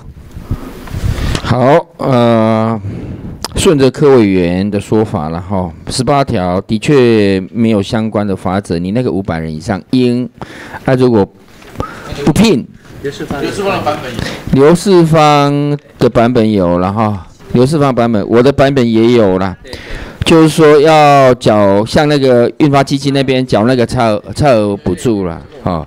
对，我们会采纳他一点。我我我觉得这是可行的，就是说有的企业哦不要多呃，我因为因为因为愿意缴运发基金啊，也许哈。他们可以接受了哈，但如果没有相关的法则，就会变这个样子。那现在问题就来了哈，我们如何知道他有没有聘？所以你们一些相关的事情细则，你们可能要去定哦，你们就要去定这个哦哈。中央主管机关由中央主管机关定制哦，这些相关的事项的办法，好。全民运全民运动，其实我我们的条文里头哈。这一条是最关键的啦，最进步性的就是企业要打五呃，企业打五百人以上要聘专业的运动教练。当然，这个有助于台湾的运动产业的发展嘛。你有教练，那鼓励大家运动啊。然后他如果他如果不聘，罚款嘛。其实不用罚款的概念，就是他缴交那个代金呢，好，缴交代金进到运发基金呢，好，好，这个给你们参考啊。来，那个学生兄，学生来了。我只是要请教一下那个体育专业人员哦，这这个定义上面，当然一开始我们在第二条就呃一开始就第二条就有定定哦，但是昨天有人跟我提到说我们要审体育法，跟我讲，他就举了一个例子，就比如说中华民国皮拉提斯协会，举例这样来讲，然后自己办个协会，然后自己受证，自己分级。那以后这些人如果有五百人以上的团体，聘请类似像瑜伽很多的这种的，他们自己发证照，那这样算不算你们认可的那种体育专业人员？我只是很好奇，因为现在呃这种教练的问题，我们没有特别去提，我们的教练的证照到底跟国际可不可以接轨？那现在有一些就自己成立一个团体，也许他上了一些课，然后就开始，你只要来少我这边上几堂课以后，我就颁给你一个初级教练的这个。呃，这呃讲师的证书，你就可以去上课喽。那那这样的话会不会也会腐烂？他们举例来讲，但我说我今天一定问到这个事情，好不好？呃，谁可以回答我这问题？这是不是你讲的中央主管机关认可的，是吗？对。好。我我简单说明一下哈，大家三位委员谈到有关这个第十七条的哈，七条其实在第一项里面就谈到各级主管机关应该鼓励参与体育活动，好，完了之后才说鼓励做体适能检测。那体适能检测它最主要是要了解自己的身体职能状况，比如说我柔软度不好，那我要做哪些运动，给他运动处方哈，可以做好。那依照国民体育法目前的体适能实施办法里面，我们分三类哈，已经有做一个检测办法了。第一个是十到二十三岁，然后二三。对六十五岁，六十五岁银发组也另外定那个适合银发组的一个体能检测的，像包括所谓开眼的、单眼的。立立足力，也说让他平衡感好不好？大概是有这些处方来来做他一个体适能改善哈。大概目前有有这样做。另外有关这个滑者的部分哈，呃，我们呃刘世芳昨天有跟他呃刘世芳委员有跟他报告过，然后我们也采纳刘世芳跟那个呃呃黄委员的意见哈，我们大概会把它列入所谓的他如果没有聘的话哈，给他一年时间要要补所谓的那个差额补助费。好，以上说明啊。另外，有关刚才呃陈先生委员谈到体育专业人员，其实在目前的国民体育法施行细则第五条里面就有界定什么叫体育专业人员的。好，包括这个登山向导员、呃国民体育指导员，好，包括专业教练都算。但是未来我们会在第三条里面会再界定清楚。以上简单说明。哎，不是，你说以后要建议清楚，目前不清楚嘛？有，现在已经第五条呃第五条有定，但是会有整个修法，还是要再做一个更完善的定定。嘿，我只是想请教，有很多院。民间有各种这种运动的，包括跳肚皮舞很多的，这些他的认证是你们许可的，是吗？他们自行办自己的认证检定，协会。如果裁判教练。那些是由协会自己，呃，是他们自己自主性的。然后，但是体总有做一个规范，比如说你 C 级、B 级、A 级或甲乙丙，你要拿到多少个时数才取得这个资格？课程内容有哪些？做一个简单的规范。哎，对。我只是提醒你哦，有些地方在贩卖这样的证照，我特别提醒你，好不好？他只要来上呃几个礼拜的课，或上几次的课，就给他一个讲师证明。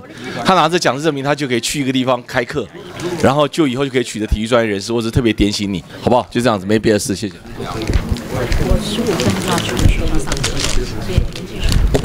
来，安呢？各位委员还没有其他意见？这个证照是我们体育署发的。好好，安呢？那就大家听这里哈，十七、十八、十九就先保留。好，那体育署，体育署看一下怎么改哈，好好的思考一下。这里哈，我们要加好杂啦，哎呀，好，按照熟课起来来哈。好，第四章章名，竞技运动，大家有没有意见？我我省不下去。好，没意见哈，好来，二十条。二十条，大家。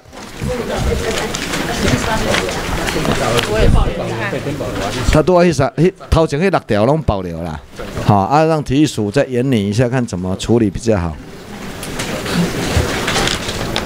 好来，那那二十条，二十条是不是国书先讲起来？还是不要体育署先讲？好吧，体育署先讲好了体育署对啊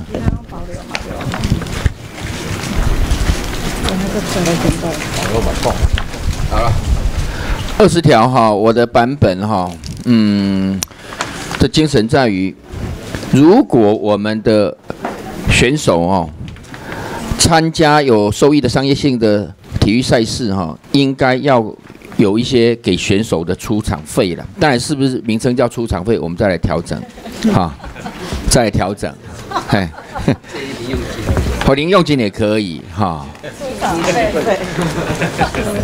出场费拿球诶。嘿，我知啦，我知啦，我我知啦，恁要讲啥我拢知啦，哈，嘿嘿，我来，我知，我知，啊，不要不要这个名词不要那么专业。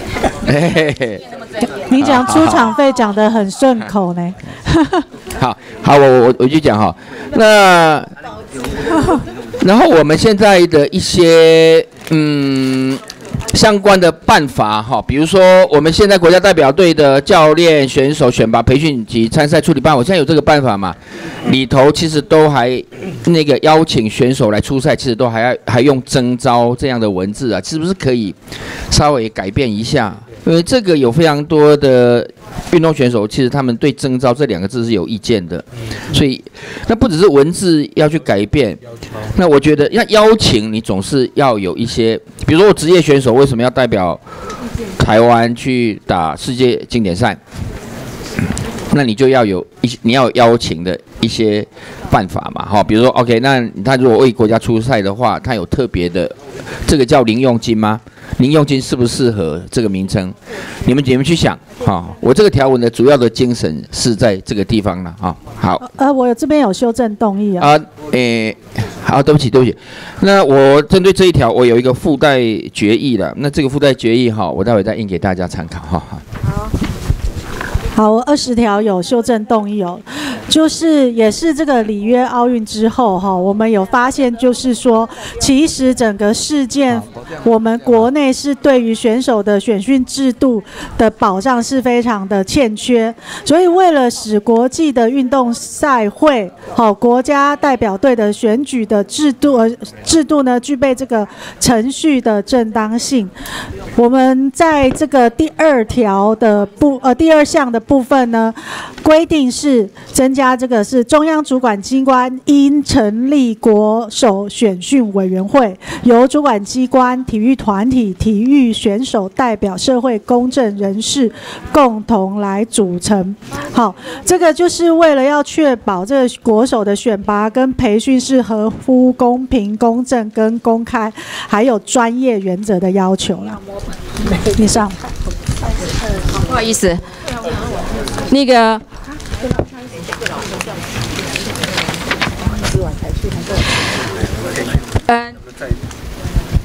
嗯，因为第二十条是整个竞技运动最最开头，所以我觉得有一个比较大的方向啊。举例来说，像一这个竞技运动，因为它这边目前只提到优秀运动选手的培养制度，像说第二十条嘛，还有这个成绩优良运动选手的奖励二十一条等等之类。我觉得，我觉得是不是在一个比较重要的政策目的、目标、策略，还有一些机关团体角色的权责上面，是否应该把它明定的比较清楚一点？我个人认为啦，然后当然最重要的是，因为各位我要去上我要去教课了，所以科委员要变成科教授要先走了，所以麻烦主席慢慢讨论好不好？我们有很多的想法哈，慢慢讨论。我只是说，我只是说这个部分里面到到五点是不是哈？不怕的哈，那个有关于这个整个的比较重要的，从从二十条到二十五条，我觉得对于竞技运动最重要的一些目的、目标、策略、机关、团体、学校、训练机构的角色跟权责，我觉得这边还是要把它带一下了，这样会比较完整一点，好不好？这这几个条文，先先做这样的说明，谢谢。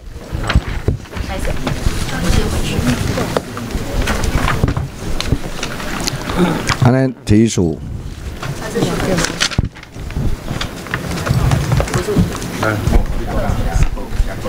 感感谢委员的建议哈。那有关呃，我们是要求协会哈，为了公平的起见哈，呃，协会里面要成立专项的委员会，包括教练委员会，包括所谓的裁判委员会，包括选训委员会，包括纪律委员会，另外还有一个增加一个，就是要加一个运动员委员会，让他这样的呃成员能够更公平化。那我们在中央的部分呢，我们跟国训中心也成立了训辅小组，所有的委员会的建议或选手名单送到这边来，要经过这个所谓专业的我们我们我们署里面的选训委员会通过才可以。目前管管机制是这样，那我们建议是不是在条文在在酌增，我们会来参考，看在哪个地方来放会比较恰当了哈。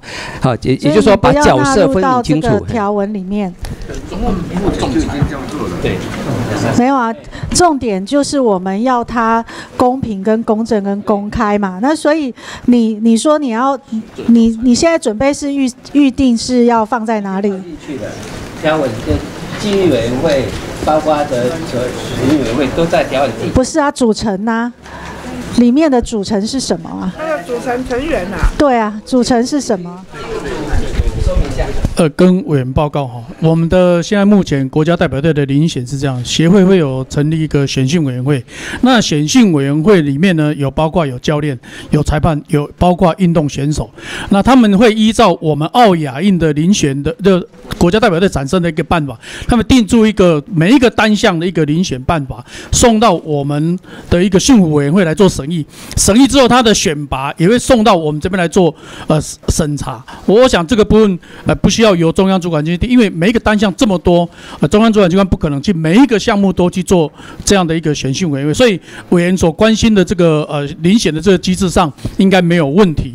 另外，刚刚黄国书委员讲的那个出场会的这个部分，我想呃，因为我们现在目前在培训当中也都有给他的零用金，那这个部分我想呃有几个协会，包括呃足球，包括棒球，现在都不用出场费的一个名义，那就是由协会去自筹，不会用我们公务的预算，会给他激励金，会给他激励金，好、这个部分。但是所有选手在培训跟参赛这个阶段，通通有零用金。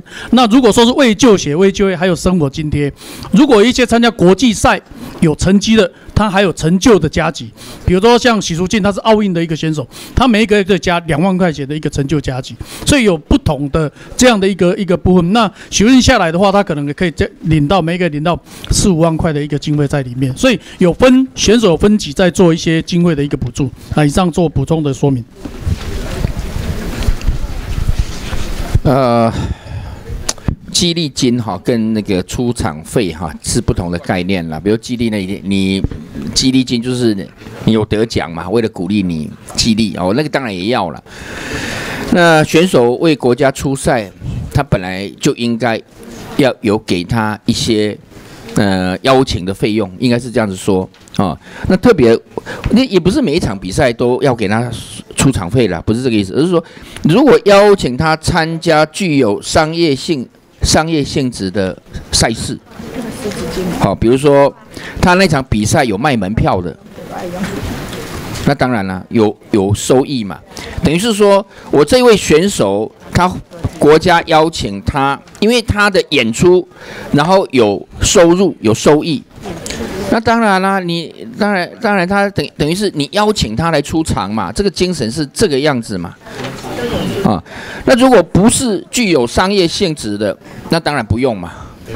那当然不用嘛。那如果有商业性质的，这我这里其其实是定得很清楚，这个只是说你有一些相关的商业上的获益，那这个获益当然也要回馈给这些选手，这我觉得这基本的原理。那不管输赢，你只要有出赛有那么多的商业的收入的话，我觉得基本上，那我们选手是不可能去分配到那一些的商业的收益嘛。但是基本上，它等于是一个表演的被邀请的演员，好、用这样子的概念啊，但演员不不一定是很很好的呃名称啦哈、就是说。这是一个大家要观赏的体育赛事，然后它有门票收入，它有广告收益，是它是举办这场赛事的单位，它是可以因为这些选手的出赛而获得利益的，而且是获得商业利益的。那当然，他来为你表演，你不用给他邀请他来为你表演，你不用给他出场费嘛。我觉得这个精神是这个样子的，希望体育署你们可以考量到了，这个也是非常多基层的选手他们的希望啊、有这样子的制度的设计了。在国外其实这样的设计是非常非常正常的，在日本、在韩国其实都有这样的设计啊。好，以上给你们参考。呃，基本上关于这一点，我是赞成黄国书委员。其实国外确实都有这样一个机制，那我们应该就是要保障我们的这些优秀的运动选手能够有更多的呃收入，然后这个部分也其实在保障他们的一个发展啊，所以我会觉得这个部分是不是是应该可以支持的。呃，谢谢啊、谢谢主席。基本上我也蛮同意呃黄国书委员的这个提案哦。那只是当然是不是用出场费这三个字哦，这个大家可以讨论哦，可以。我都要想无较 适当。那那那以他这样子的一个，以他这样子的一个条文的精神，确实跟刚刚体育所所解释说明的这个激励金是不一样的，也跟零用金的概念是不一样的哦。所以呢，我我我我觉得哦，是不是大家可以来？因为其实这个定下去，其实是制造更多的舞台给选手，也让选手在舞台上发光发热的时候，他不是没有经济效益、没有收入的，他还是有所得的。我老公哦，哎，那美赛期待哦，他来当台湾之光，可是当完之后呢，他的背后的这个经济收入是不符比例的，哦，所以这个东西我也希望说，呃，我们未来要鼓励呃我们的选手能够更精进，也鼓励他们能够在更多的赛事里面出场哦，出席来比赛。那这个东西就是一个鼓励的性质，也也是在规范规范什么？规范这些举办体育赛事或者活动的这些团体，希望呢能够他们有这样子的一个观念跟精神来支持我们的体育赛事跟选手。所以呢，是不是用出席费？后来又想个名称叫出赛费，出赛费，哎，yes，出也哎哎通哦，通哎，出赛费。我觉得哦，这个是一定是潮流。我们台湾过去就是因为用征招的因素，好像嘿 那个是权利、权利跟义务啦，好像是征招是我们的权利，然后出赛是选手的义务啊，无几波几弄起体为输啦哈。好所以我是觉得这个时代已经改变了啦哈，所以我也我也认为哈，应该要给一定的出赛费或哦出赛费出赛了哈，出赛费后啊，哎好，嗯，然后好，另外哈，就是我们也应该要有营养金的制度了。当然，这个名称可以大家再讨论了哈。就培训的参赛这一段期间啊，然后我认为是应该定定各种不同的层级的国家代表队哈，应该要有给他们一个营养金的制度。我觉得那个零用金哈。两百块。那个太少了，零用金那两百块那实在无通啦。起码起码一般即卖你学生学生是两百，是学生办呃无啦，最近个提高啦，我个提高啊，我个提高。会提高提高到偌济？这个一一一个月吧，一个月至少啦。培训队呢？培训队啦，代表加级哦，你都有做过啊？哎，就迄个你有成绩，还有加级哦，嘿。啊，学生的零用金就是干那六千，好好好加一杯万里啊，不同层级的，安尼好啦哈。所以有的，嗯，如果有的话，那放进法院没有问题嘛？没有这个都有，这个都有，这都有吧哈。因为这个会变二。月一号开始追加给啊。好，二月一号。好啊好啊，那那有更好啊，那啊那已经有了，那我这个文字放进去，那更没问题啊，反正已经有了，也不会增加你们负担啦。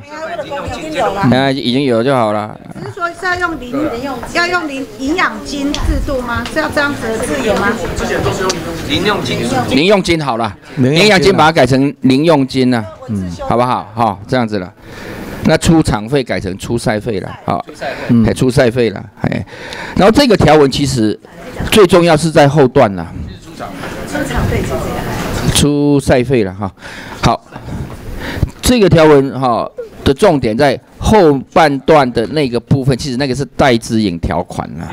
好，这个代指引条款，我希望有关于跟呃商业的合约之间，哎，如果有一些争议的需要仲裁的，那这个部分我们希望有一些角度的处理了，就是说不能对教练跟选手没有正当的理由对他们做不利益之处分。他这个部分哈，看能不能入法。其实也整个戴之颖的那个事件，其实让我们考虑到这个事情一定要把它放到，嗯，要把它放到我们的条文里头来，好，好不好？院版有放进去，不过我还是要问个问题哦，就是刚刚刚刚呃，你们有讲说你们这个这个选训委员会放在三十九条那里是由体育团体的来去处理，这个就是关于我上一次咨询所讲的。因为你们认为，就是我们体育署是没有办法直接去干预，好，才会放在三十九条，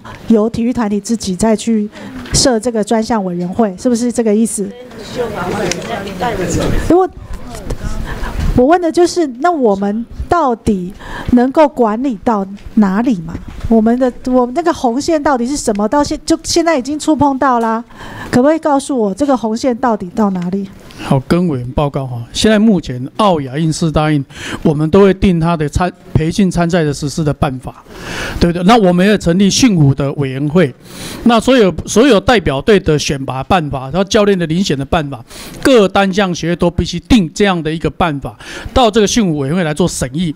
审议完了之后，他会去办理选拔。协会去帮你选拔，选拔完了之后，他会把名单这些都报过来我们这个地方，我们来做审查，我们都会做审查，啊，这个部分是没有问题的。所以现在刚刚委员讲的就是说要呃体育署，因为我在这里是由中央主管机关来成立嘛。但但是跟委员报告，因为单项的东西。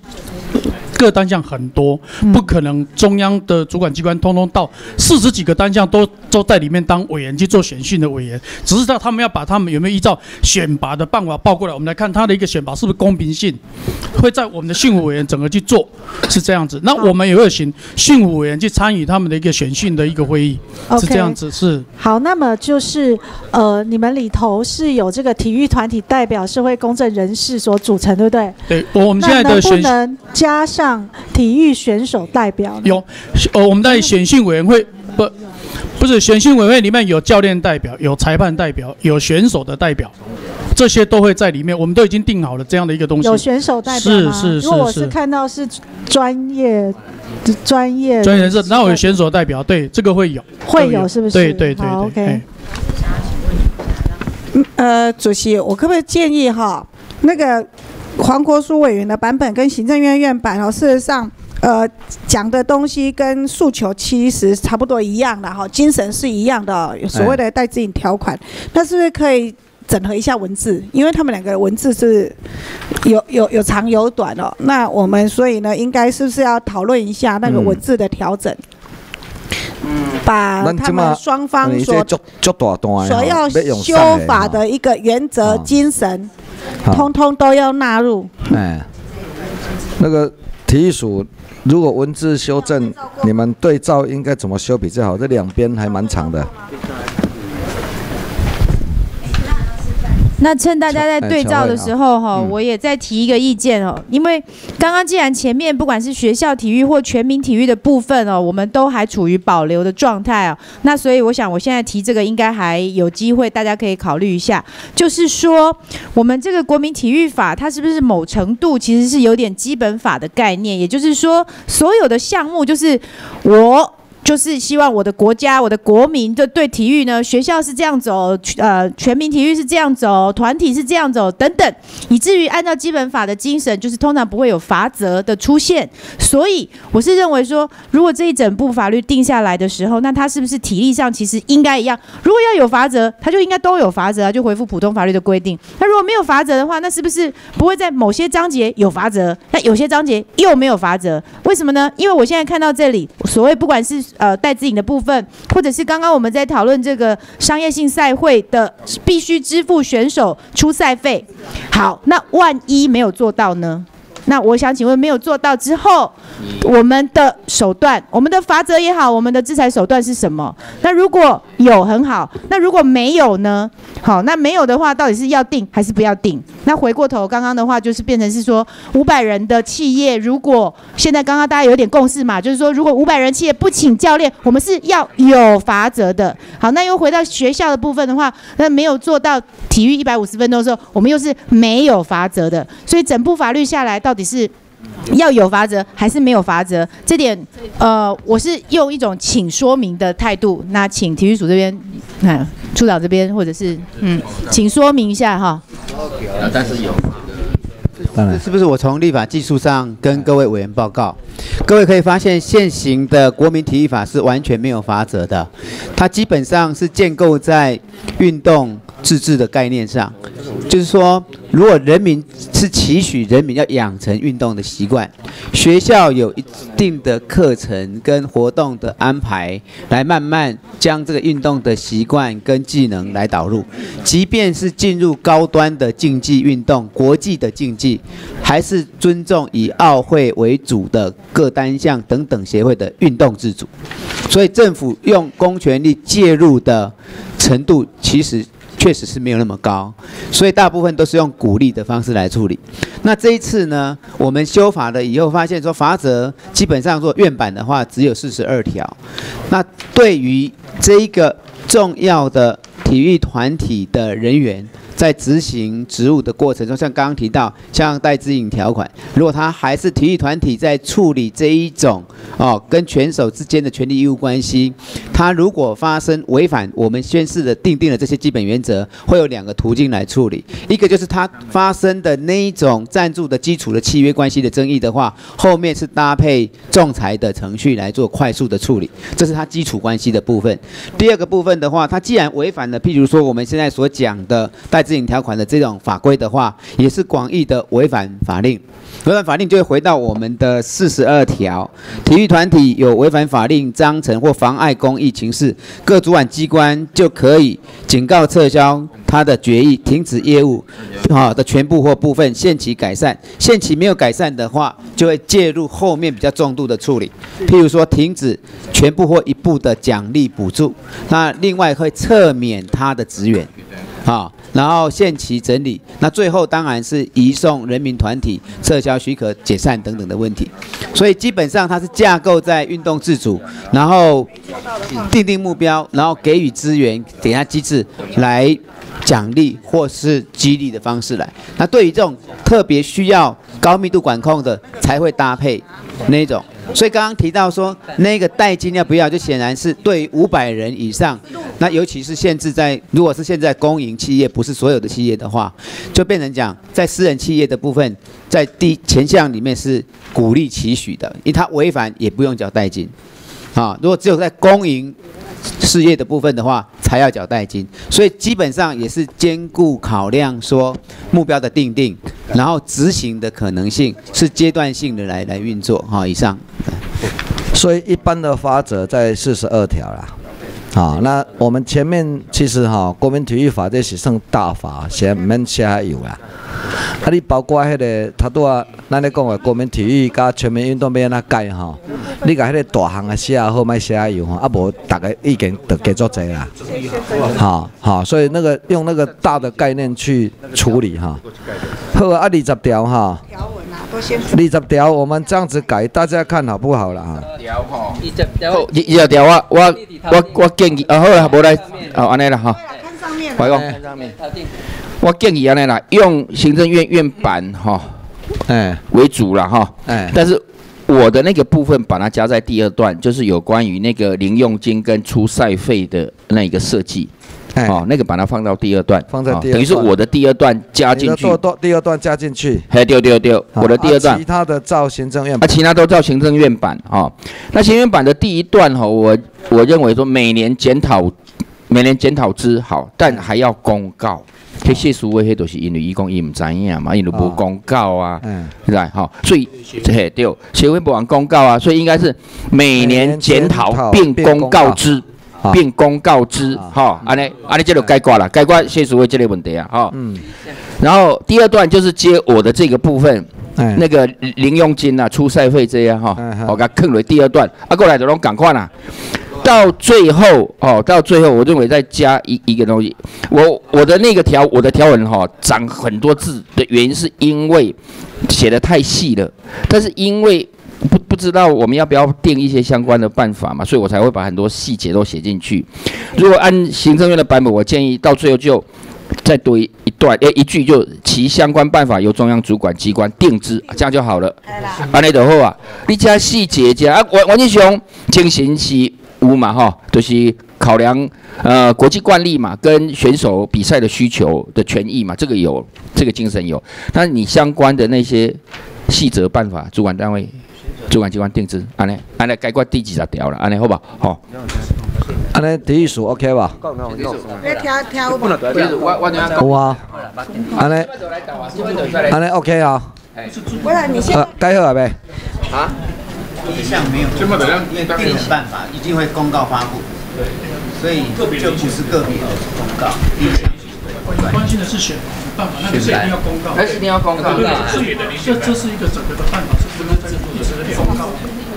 无啦，你这不是黄国书委吧？不是啊，他刚刚黄国书委员强调的第一段为什么要公告两个字，是因为呃谢淑薇曾经曾经在质疑，就是他看不到任何的所有的补助经费的细节啦，还有细目啦，等等等等等等啦，嗯各项的办法他也不知道啦。啊，就拢矮啊，就我加入然后要。啊你，伊本来就矮啊，闲来伊看袂到。我紧啊，你检讨并公告之啊，无什么顺序上面你现在我们已经把以往不是法制化的制度，在第一项已经定成法规嘛，哈，法规的定定程序现在都是要先经过预告程序，然后大家有共识之后才定定发布，因为然后更审慎，后面又再加一个由中央主管机关定定，并每年检讨，啊，那每年检讨的时候，如果涉及修正的话，它又要经过这个过程去发布。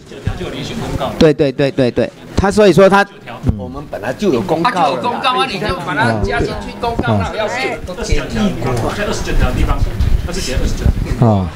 啊，你二十九条，啊，二十九条有公告啊，二十条下公告也细哦。问题就是安尼，到中华民国哪一个宪法有规定说？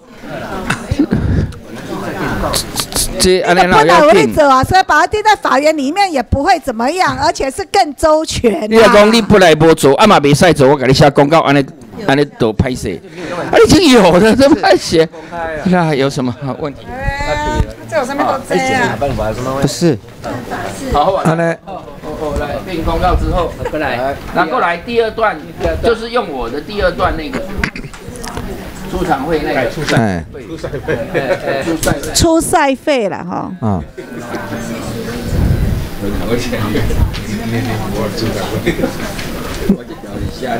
对，那个就把它搬进去啊。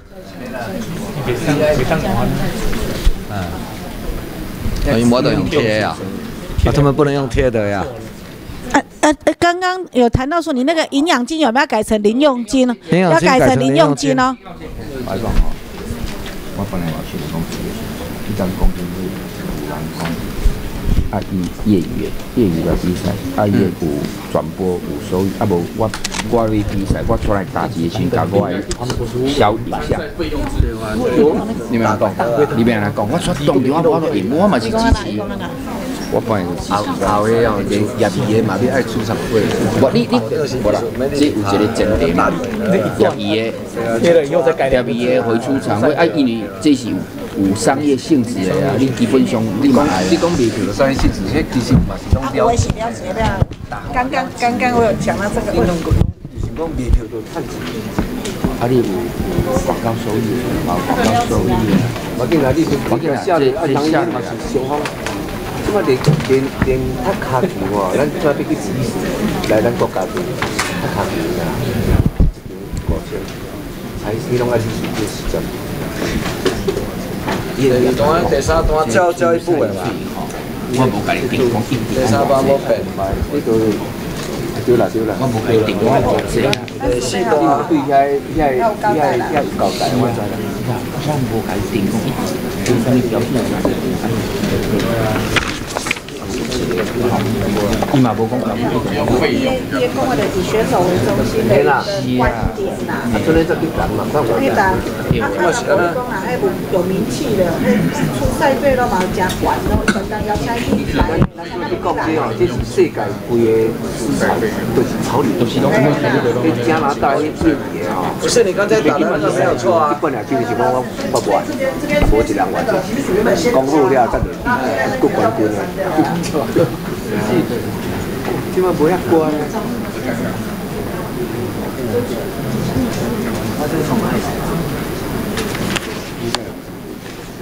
前面是第一张是什么？零用金要不要考虑一下支？然后给你想看买，买给你个想看买。中央主管机关应按国际运动赛会层级订定国家代表队选手之培训及参赛费用，哎，对吧？费用制度，费用就包括零用金跟出赛费哦，你讲，哎，费用啊，参赛主主播讲呀。因因足要求，因因足要求这个要求，特别个下出来的是，生活费，特别下出来出赛费啦，嗯，个人零用金，出赛费用呢？主要是个人零用金，可以啊，个人零用金可以啊，个人。个人。零用金的，就是我感觉迄三奇怪怪。啊。那因为现行的办法就是用三个字嘛，零用金嘛。选手零用金。哦，参赛选手啊，嘿，参赛选手，对对对，参赛选手，哎，啊，他讲那个代表队那个选手费用，我要代表队，嘿，对对对对，对了对了对了，参赛选手。那如果费用支付制度呢？对，你不会要零用金啊，费用费用就可以包括很多，哎，训练。对啊，已经很硬的。就零用金了，再叫零。他是在国手培训的过程中间要支付啊。嗯，他们是学生啊。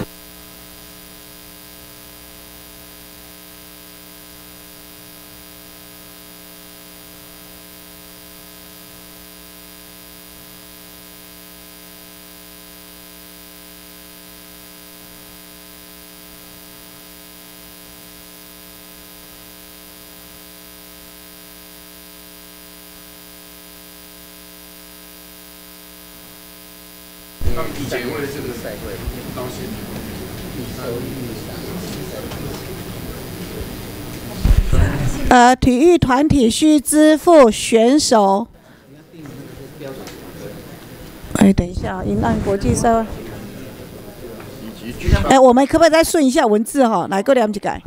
中央主管机关因应国际运动赛会层级订定国家代表队之培训及参赛选手零用金制度，以及举办，以及这边很奇怪，写了句号，这里有一个句号，句号，然后以及没有，以及没有，不要以及，不要以及，嘿，对啦，举办或参与剧，然后那个体育赛事时后面要逗号。因为选手只有参与体育团体需支付选手出赛费，这样就好。对对，出赛费哦。标准要拿掉了。对。还要举办，那没有举办货了。没有，他现在的没有举办就变体育团体了。哎。你是说参与，所以他要支付给他。啊，对了，体育团体更给掏钱，体育团体举办或参与剧。对了。哎，收益性质商业团体，体育团体更给掏钱，哎，啊，对对。十十后面是不是要加一个逗号？对对对。需支付选手之出赛费。不是不是逗号，不是在那里啦，在十后面呐。十，需支付选手。应呐，应支付啦。应。应支付选手出赛费啊，那个资也拿掉了。应支付选手出赛费。得得得支付哎。哎，标记虽然讲对啊。标记你嘛是点爱好。他本来的，他本来这个精神就是这样子啊。有英语啦，迄就是有英语开始分啦。不是啦，我英语，只要英语。它是商业性质，就应该要给啊。选手来，算手无在了。你你若要叫所长，你安尼讲讲伊了钱，啊，所以就不爱付伊，安尼要哪讲会通。啊，伊嘛要做小做小讲伊了钱。其实是这样子的，你既然收费的话，你就应该你就应该分给他赔。我们的精神就是在于尊重选手嘛，对不对？可各位可不可以更精简？就是体育团体举办拒收，哎，什么？举办商业性赛会时，应支付选手出赛费。要参与的，他要参与哦。你经典赛的参与啊，你也不举办他有的是用带选手去参与的啊。啊，然后人家会分，会会会给他钱的，譬如说经典赛。嘿对啦，伊精精神本来就是要应支付啊啦，因后趁钱要分较济，迄另外较个定啦。啊，若无趁钱，本来就要定出赛费。对啊，得就看得到，吃不到啦。哎呀，啊，真的是一个趋势，这这个趋势就是这样啊。只是我只是把这个趋势把它写进去，我们这一个这个我你这个肯 k 里哈，这个就体育改革跨出了很重要我我的认知是这样子啦，哈，对选手的那个，我认知是这样，你应支付哈，其实有一些像经典赛那个，他就很多钱，他也会根据他支付的费用来做分配嘛。那如果说你那个强度是比较低的，其实有时候门票可能也也那个那那个支付的就比较少嘛。那选手也都能理解嘛，哎，那若无甲你讲一点爱好偌济啊，比例啊偌济，嘿。对啊，对啊，对啊。对啦，对啊，你如果说你舆论会给压力是什么？就是你收很多，结果你不给选手，你就会嘛。啊，你赔了钱没给选手或给很少，我想大家不会有意见的。哎哎，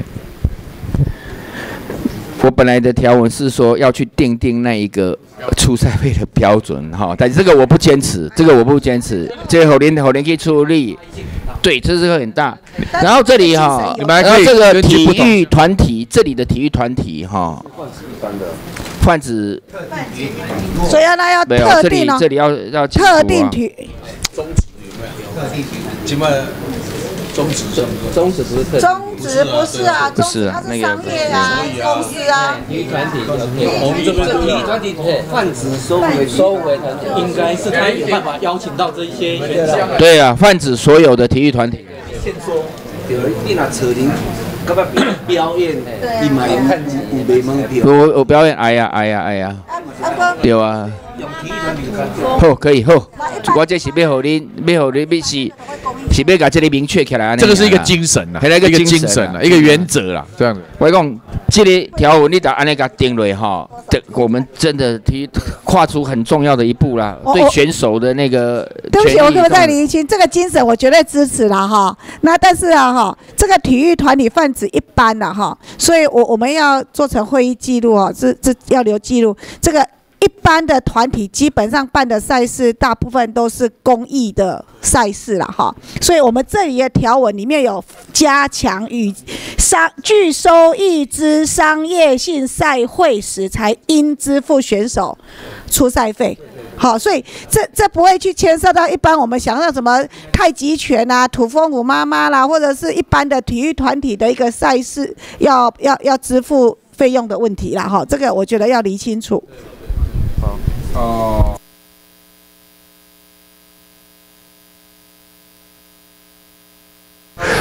好，这里的选手，我我想是这样啦，还是把它定在那个国家代表队啦，就就是国手的这个选手，不然的话，这个选手这个太广泛了哈、是针对国家代表队的选手啊。上面就有我上面我国家其其实哈，那个零用金制度那个据点把它改成冒冒号，这样就解决这个问题了。有分号了，这个叫分号，分号就解决了。这里的选手就是跟前面的那个国家代表队的培训参赛选手零用金制度那样的选手的概念，这样就接起来了，好吧？好，安内安内改管。思考很精准。好，那再来第三段是都一样嘛？过来拢赶快来，拢用样板，用样板。好，来，换这条线。哎，然后后后面，哎，最后要加那个其相关办法由中央主管机关定之哦。赶快来。我是公家跟厂商之间有项。啊，第三段啊，你参加国家运动赛会国家代表队之教练与选手。整个条文再走一下了，嘿，再再再讲一下，看有没有问题。这个要跟厂商嘛，荧幕从头，诶有荧幕可不可以把整条通通可以从头对啊，整条放着。整条。放在荧幕里面，整条。对。字缩小，整条字缩小，嘿，嗯，啊。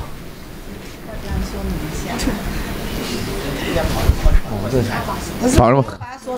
还要把它缩成一个区块了。小看看看。的。哇，那么小，过一盖，过过一盖就结束了。五点了。其实你们先整理，然后还没有定，还可以再修了。我回去修这第二章、第诶第三章、第四章。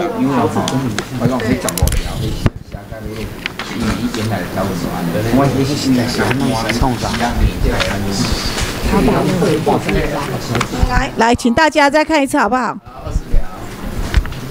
来二十条，大概看一个啦哈。对啊。那无我开始了吗？啊，好，那个谁有意见？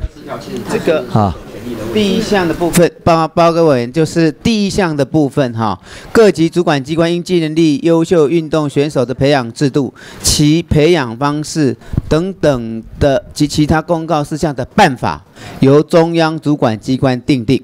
所以这个前面的对象是办法啊，这个办法每年检讨。好，但是后面并公告之这个地方是是不是可以再斟酌一下？因为我们一个办法定定的过程，就是透过行政院刊登公报发布出去的。那每年去检讨说有没有外部环境改变啊，或是办法不周延的地方去修正，有修正的话才会再去做公告。如果检讨公布发布了，就是公开的意思。那如果说没有修正的时候，其实他就不会有再去做处理的问题。所以我们现在讲说，每年检讨法规又要公告，这个实务上执行跟发布是有一点点 出入的。持的是，这完了无唔对啦。是是因为是办法本来就公告过啊啦，你那修正不爱公告，你那无修正就免公告啦。检讨之这样可以。哎，啦无修正就无公告的问题啦。对。上面应该不应该那个分？所以还是每年检讨制啦。那个培养制度后面是分号吗？对，是分号。那应该是逗号，那个逗逗号就可以，不是分号。哦，分号。分号。其对，其就是前面的代名词，对。它本来是写两项，后来用分号，就是前面的不再重述了啦。对，其培养方式，其就是优秀运动人员的培养的制度，那其培养的方式才后面的。啊，对，中央主管不，因为分号是两项，所以他才用其去带前面那一段。对对，对本来要写两项的，他把它并在一起。那把它框起来干什么？第二句有没有问题？第二句有没有？中央主管机关。对啊，应该站拱。看不到制度，然后体育体。拒收拒收益性是商业，拒收益是对，是应支付选手出赛费，对，这样可以。他那个分号就是用前面的，不在像是那个它它是并列的连句，有是套用前面的。国家代表队教练也是。后面就不重复。后来第啊第第三项连起来，参加国际运动赛会国家代表队教练与选手之选拔。啊啊，都后边搁一个字诶。啊，安尼头前嗰个字摕掉就好，头前嗰个字摕掉就好啊。对，教练。或者支支在前面，后面那个支可以拿掉。教练与选手选拔，哎，支啊，支教练选手选拔，哎，两个都拿掉。前面前面要有了，我要代表对支教练与选手选拔，对，这样我那写这样这样对了。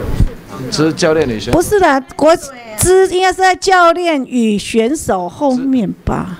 参加国际运动赛会知啊，不，再念，再念，再念，再念，再念。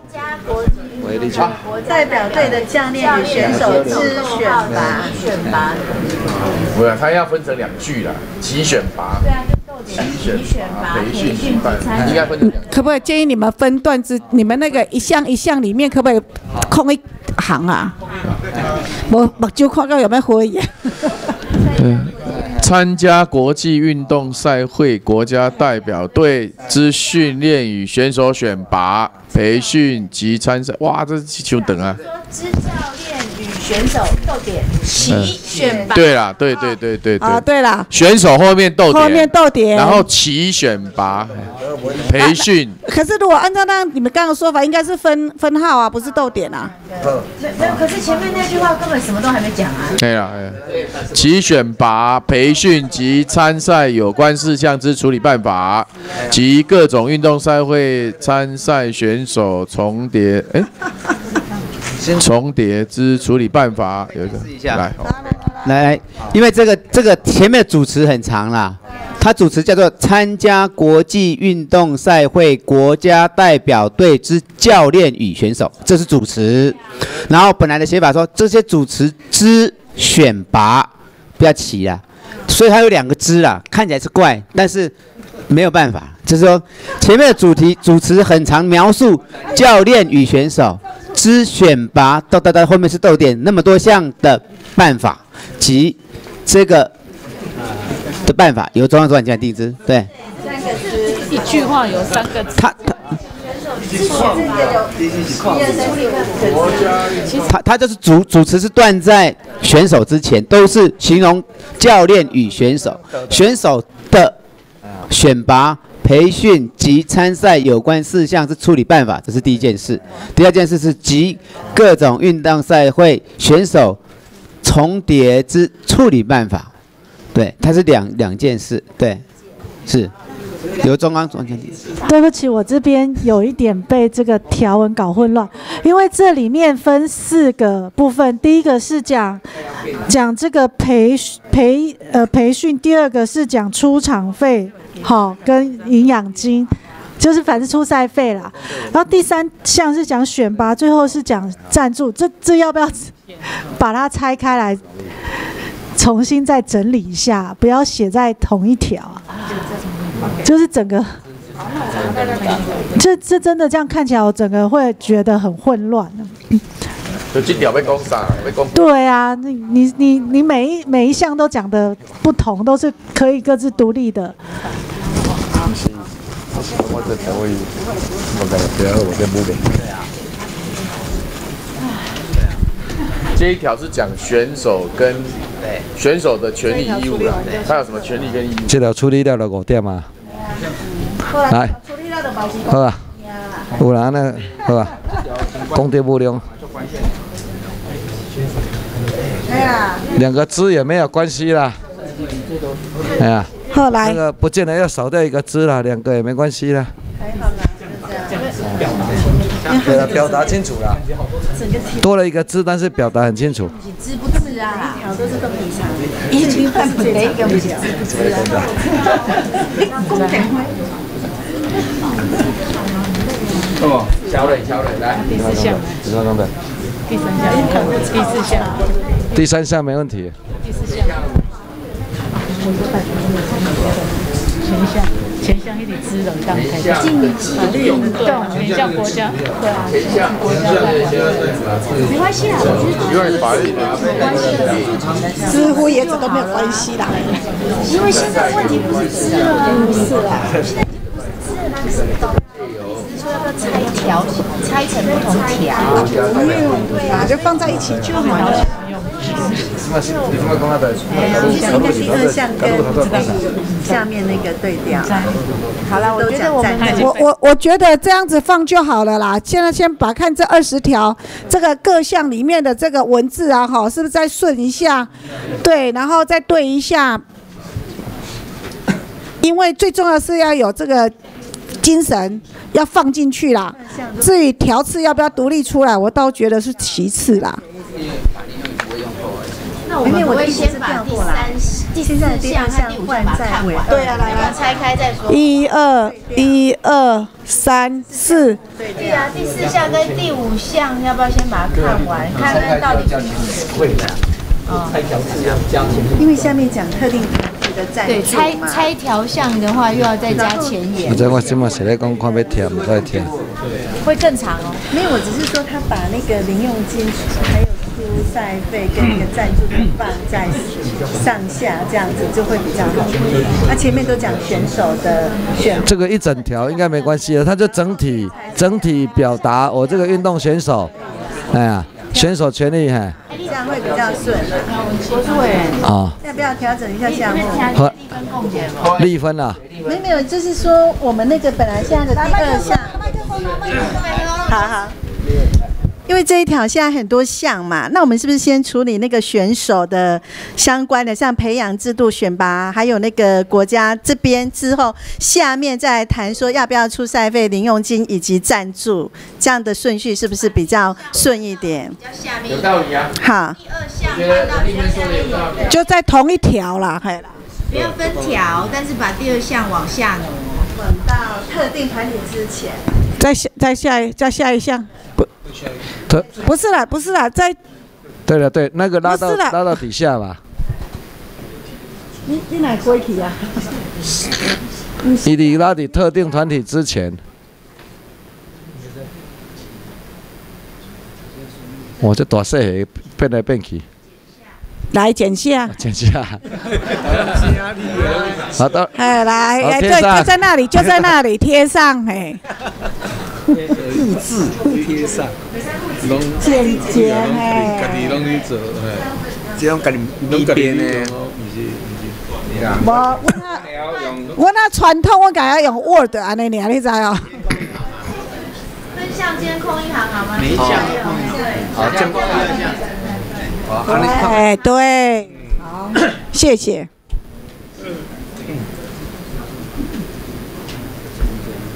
这样有比较顺，这样有比较顺？是全部讲选手啦。对啦，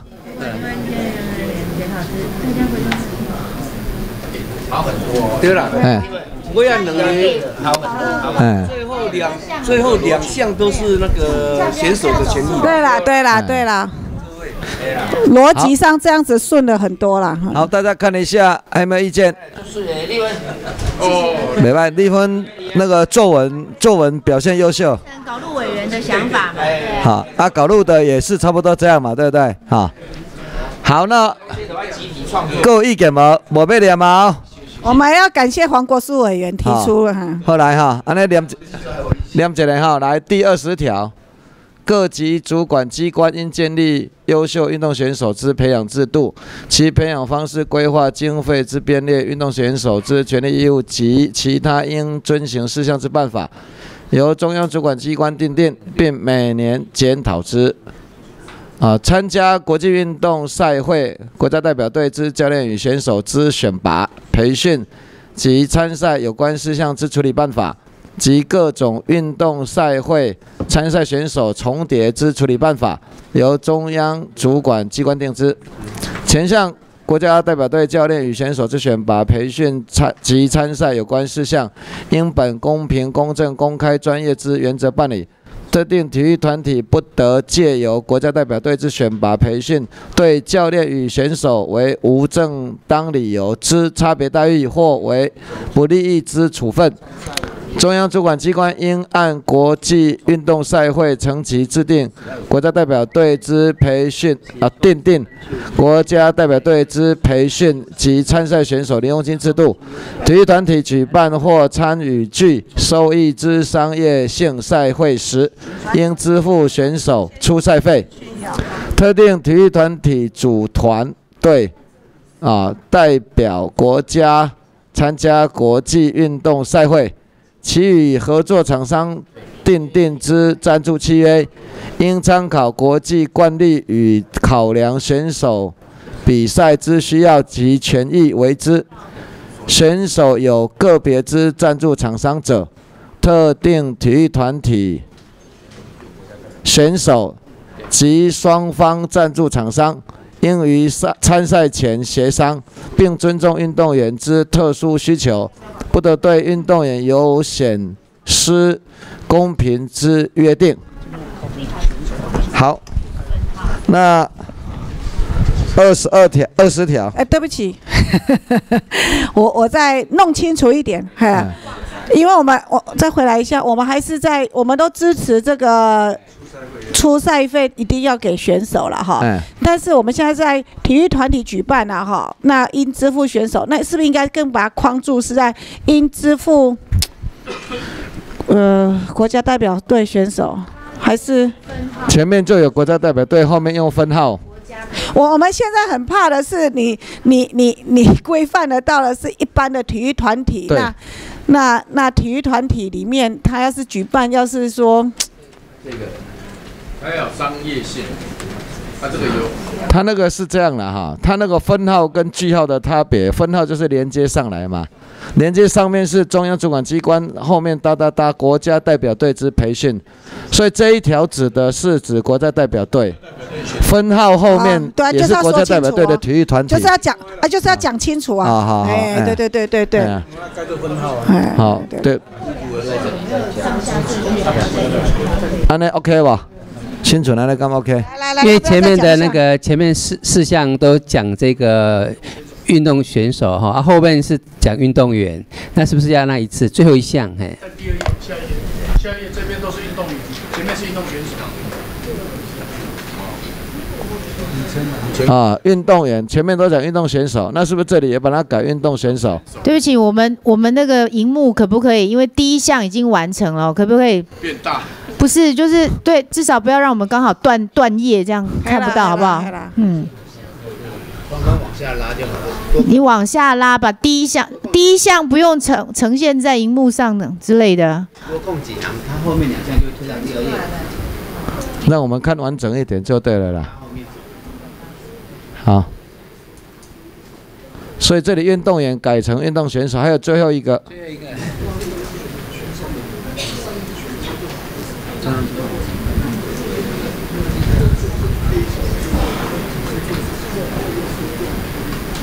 然后呃，我我我参赛选手跟运动选手。我再提醒一下啦哈，我没有坚持，我只是刚刚这样在看的时候呢，我们现在的第三项是讲特定体育团体等等等等等哦，就是参加国际等等等。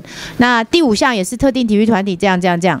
那但是第四项的话是一个不一样的东西，然后是讲体育团体对国家选手队的支付选手出赛费，所以有没有四和五还要再对调？嗨。三三但是我不来坚持啦，我刚刚只是这样顺下来看的时候三，三四五，三四五弄在一起看看。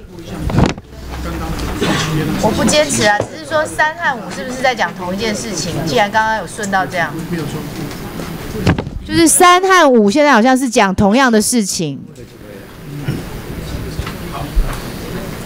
那就是把中央主管机关那个选手出赛费放在最后，放在最后。出赛费，哎，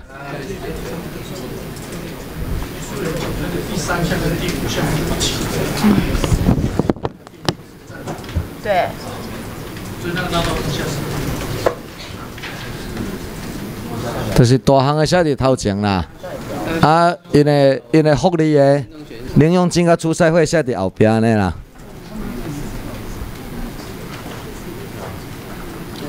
现在选手运动选手，前面是那个，前面是国家国手的参赛者，参赛选手跟运动选手，前面都只有都是选手而已。啊头前头前头前头头前的第一类就是运动选手啊。要拉一次？第一个，呃，第一段第一项第一项就全部都是用运动选手的。第一项运动选手，那你后面也是选手啊，后面就是选手。后面是那他是有参加赛会的时候用参赛选手 OK 吗？教练跟选手啦，对啊。都 OK 啦。好，好，全部拢个看一摆好不好？呃，快点那边好。来，好。来看这个，看这个。啊，那教练与选手比赛啊。对了，教练与选手。啊，那单独的写。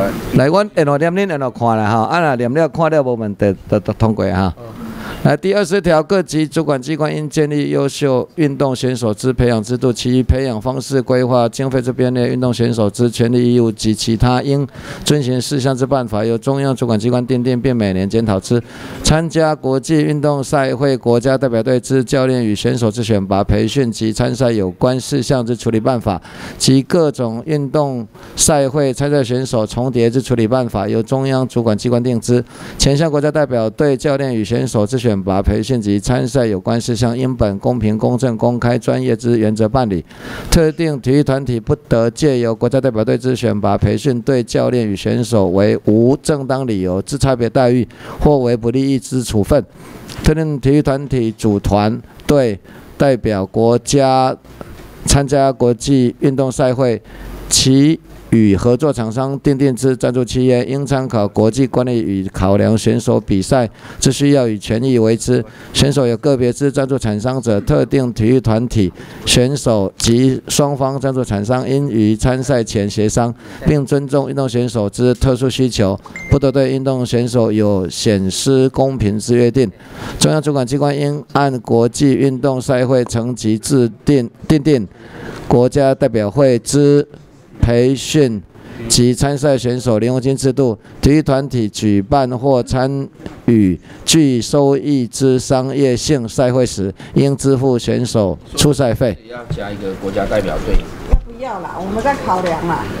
应我喜欢永分号啊，是不是？不是啦。是在说后面的那一个选手是不是要加国家代表队啊？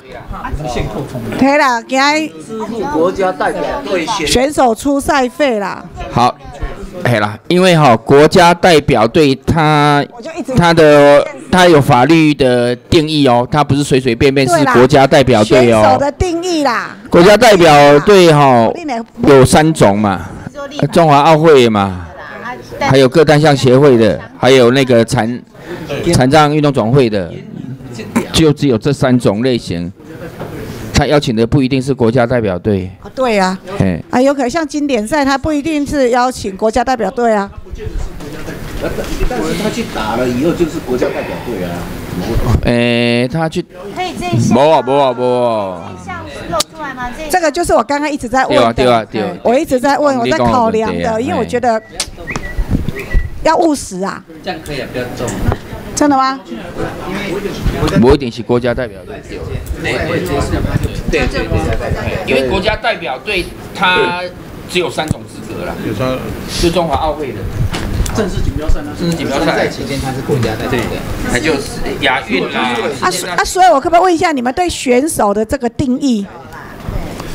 对啊，我们那个金少棒也有国家代表队啊，少棒也有啊。麦克风，我觉得选手的定义要先讲清楚啦，哈，不然我我我觉得会有无限扩张。如果现在不限制选手的范围的话，就等同于是体育团体举办的收益性的商业赛会的时候，他要任何的任何选的选手都必须要付出赛啊，你。刚刚不是才说因为分号的关系，所以立法技术上就是这个选手就是前面说的那一段话吗？所以现在就要确认这样的一个情形。对啊，那因为个刚刚是不一样。这个就是我一直在问的问题啊。我们刚刚提到，可能业务面先确认一件事情，所谓的国家代表队的身份，是不是在参赛前遴选确认？比如说，我们要参加这一届的奥运国家代表队，就是从确认他的代表队的身份，一直到奥运结束，他国家代表队的身份就结束了。但是他参加商演可能是在之后之后，所以如果说一定要让他是现说他是国家代表队，会不会实务上有这样的一个问题？这是第一个要考量的业务面的层次的问题。第二个就是我们是不是一定要限制啊？就是国家代表队的人参与商演才有，亦或是说我们宣誓体育团体只要办你有收益性的这一种赛事的时候，基本上你就一直应该对体育选手付费，不管是任何的对象。对对除了政策上可能要先确认，所以应该是选手就好，对了，中央不见得要代表队了。定定国家代表对呀，所以我们刚刚一直在。他只要有初赛哦，商商商业性质初赛付钱是正常的吧？所以你这个叫所以这个收入的，那我可不可以？我我建议了哈，因为这个是国民体育法。那我们后面有所谓，你们之前都有所谓的特定体育团体。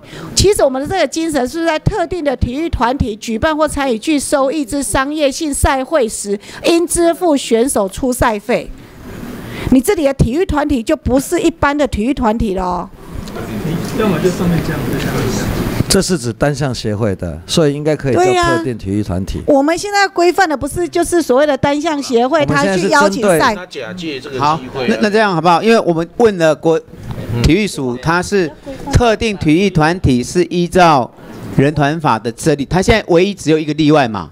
谁？不是人团法啦，直棒啦。对啊，我说，但是我们现在要规范的体育团体本来就是特定体育团体，对对对但是没有办法包括直棒。直棒。那后面立法技术上是可以克服的。如果说那个是国手或是不国手的话，可能把后段就单独列一项啦。好，就说特定体育团体举办或参与收益性之商业性赛会时，应支付选手不要动啦。对啊，应支付选手出赛费，然后分号，然后呢，你讲那个是什么？中国职棒联盟吗？中华。那什么？在这里写吗？不是不是，因为他没有办法放进那个特定团体里头去那这国，民团。体法里面不能放那一个，不能单指他的名啊！你这样针对性啊，不行啊！啊，或是其他法人，或者是其他法人，其他法人倒是可以啦。对啊，其他法人一同啊。安尼啦，可是其他法人又范围又很大了哦。那就是说，他如果其他团体，就是任何一个公司，他如果可以合法举定体育就这个具收益性的赛会的时候，通通要要付给运动选手钱。是啊，都有付钱的。对对。他是薪他们已经资是商业，他是薪资，到薪资。中华职棒那个是薪资，本来就有他他那个没有出赛费的问题。对对对，医生要薪资的啊，因因为黄国书委员跟我们公听会里面大家反映的是，在于现况里面有一些特定的体育协会，他在邀请，说算是用征召两个字，不是用邀请选手来参赛。这第一个不够尊重选手，第二个邀请了之后，我们也要给予他出赛费用。嗯，好，不是像现在是用滥用，或者是说不尊重选手，不给他钱。对，所以我我我我刚刚为什么一直在斟酌这一段，就是在我也怕怕怕修的不好的话，定的不好的话，反而会扩及无辜，伤及无辜了哈。那所以呢，我还是建议是不是用现在，我们不要去针对性的某一个那个，我们就用特定的体育团体呀、因为我们为的是要呃竞技型的单项运动协会，他们在办一些赛事的时候啦，好了好了，这样范围一点好了。先说在特定体育团体啦。特定的体育团体啦，一般的啦。不过咱咱这一张哈，八十几个。我们这一章最主要的目的在哪里？就是处理单项协会的问题，所以我们单纯把单项协会把它集中处理好。对，好，那个概念不要分散掉了。选手啊，选手就不用了。选手就没有限定国家代表队了。选手，外公来，因因为因为因为特定的体育团体会办的赛事，他所邀请的选手基本上也一定有一定程度跟一定层级以上的选手，对了，有一定 level 的了啦，他付钱也是应该的啦。哎呀，是嘛？这些好不好跟国际接轨的才会去办这些赛事啊才有可能卖票。哎，这也才有才会有商业性呐。那个分号把它改成句号的话，会更明确，就是两个是无赶快的紫色好。好，你讲分号改成句号了哈。来，上一上一刚才刚才那里，来，最后一三四五项你在干嘛？就通通都是特定体育团体呀、对啊。来来来，最后那一项把那个分号改成句号。好，对对对，OK，可以了。这样子是不是就比较完整？都不一定是国家代表队呃。对啦，对对对。来啦。一邀请上面人，对啦，特定的体育团体啦，因为我们今天要规范的是这个啦。对了，对了，对了，对了。好，那三人哈。就是集体智慧。对啦，你若讲何清纯办，以百年峡谷办迄个 要被邀请棒球赛邀请来，你说爱讲嘿妹。哦，哎，啊，你安尼是不是甲？基本上无法度做特定体育团体的理事长啊，所以你拢袂去，拢袂去需要比赛招经呀，我想好啦，赶紧啦，好，安尼该有意见无？这样应该很精准。没意见的啊，要清楚。我要重念一遍了。所以这个要集体创作就是好，好，那好，还有没有意见？没有，没有意见哈。好，那再拉到前面。哎，后面把它拉上来啊。好哈，来大家看清楚哈。第二十条，各级主管机关应建立优秀运动选手之培养制度，其培养方式、规划经费之编列、运动选手之权利义务及其他应遵循适当之办法，由中央主管机关订定，并每年检讨之。参加国际运动赛会、国家代表队之教练与选手之选拔、培训及参赛有关事项之处理办法及各种运动赛会参赛选手之重叠之处理办法，由中央主管机关定制。前项国家代表队教练及选手之选拔、培训与及参赛有关事事项，因本公平、公正、公开、专业之原则办理。特定体育团体不得借由国家代表队之选拔、培训，对教练与选手为无正当理由之差别待遇或为不利益之处分。特定体育团体组团队代表国家。参加国际运动赛会，其与合作厂商制定之赞助契约，应参考国际惯例与考量选手比赛之需要及与及权益为之。选手有个别之赞助厂商者，特定体育团体选手及双方赞助厂商应于参赛前协商，并尊重运动选手之特殊需求，不得对运动选手有显示公平之约定。中央主管机关应按国际运动赛会层级订定国家代表队之培训及参赛选手零用金制度。特定体育团体举办或参与具收益之商业性赛会时，应支付选手出赛费。这两张啊，好，安尼二十条，就先改安尼。好，那其他的我们下回再排哈。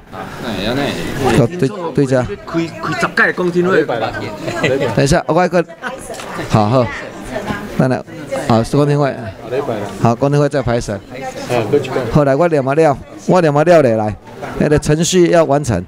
来，国民体育法相关修正草案审查结果免予重复宣读，在不影响不在不影响条文文意前提下，文字条次及标点符号为统一体例。授权议事人员修改列入记录。关于今天下午会议做如下决议：对于委员咨询要求提供相关资料或以书面答复者，请于相关机关于两周内送交个别委员及本委员会。但委员另行指定期限者，从其指定。国民体育法相关修正草案已部分修正完竣，未及审查部分，另择其继续审查。本委员会今天下午议程处理完毕，现在散会，谢谢各位。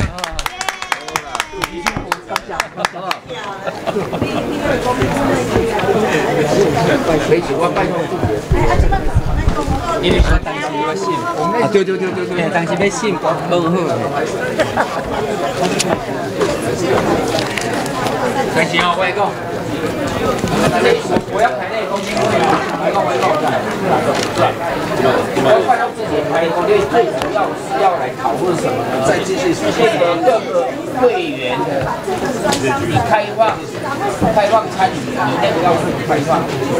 也只要有教安呢，要要多少？还有那个都是个别性质的，比如说，啊，你讲，啊，你讲五八，那个这个办法，办法你讲我做事情细致吼，你讲我做江南吼，我给他，这摆就是需要规定，啊，今天设计用钱的，就是个人心态是吧？但是你若无情况嘛，所以卖个人基本来计划，卖卖公听会啊，那个还是卖公听会啦。你要那个那个下礼拜四啊，哈，那个教师的年龄单位要排什么？中条，他说一线那个，哦，我这拜师，他给谁才算拜山？我拜山，我这个我过来，联系用这个宣传，如果提早办，科技过去的。大家听到台大第一次，然后国民体育法排在礼拜三，那因为你这个基基本法是学长跟讲的话，开的话有时候得再招来招会比赛啊。所以你就是这边的主动就比较多。所以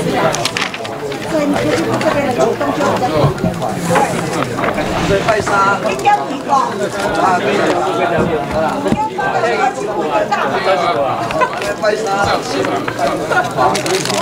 借你借你借你。谢谢谢谢我来。啊，那就拜沙。继续继续拜沙。继续审啊。拜沙在应该比我拢。刚我甲我讲会听啦。好，好，好。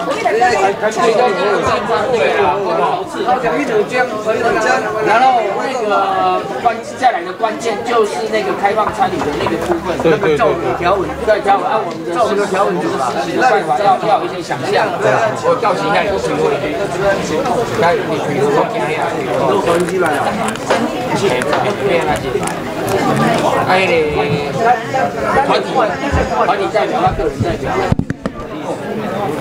迄敢要定个是，迄迄定到执法内底，迄定到执法内底，咱咧执行，执行可能即摆啦。依律法去买定定个。另外在啦，另外在。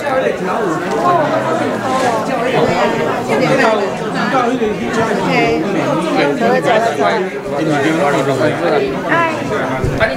来来，泽勋，赶快改一下！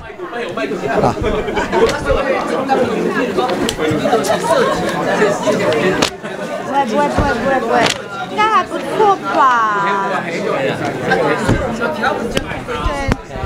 谢谢啊。原则上你都可以进入，没有正当理由。我已经想这个，给他给他去接他，阿哥给他，安尼就没事。谢谢啊，谢谢。没有啊，这个本来就都有花，国家代表，队，国。家开，这表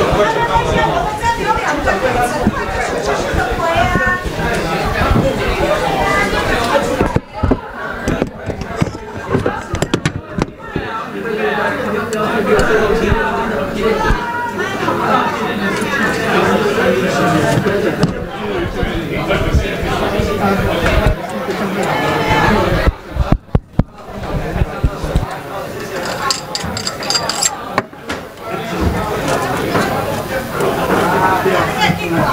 以他用据点啊，这边也有据啊。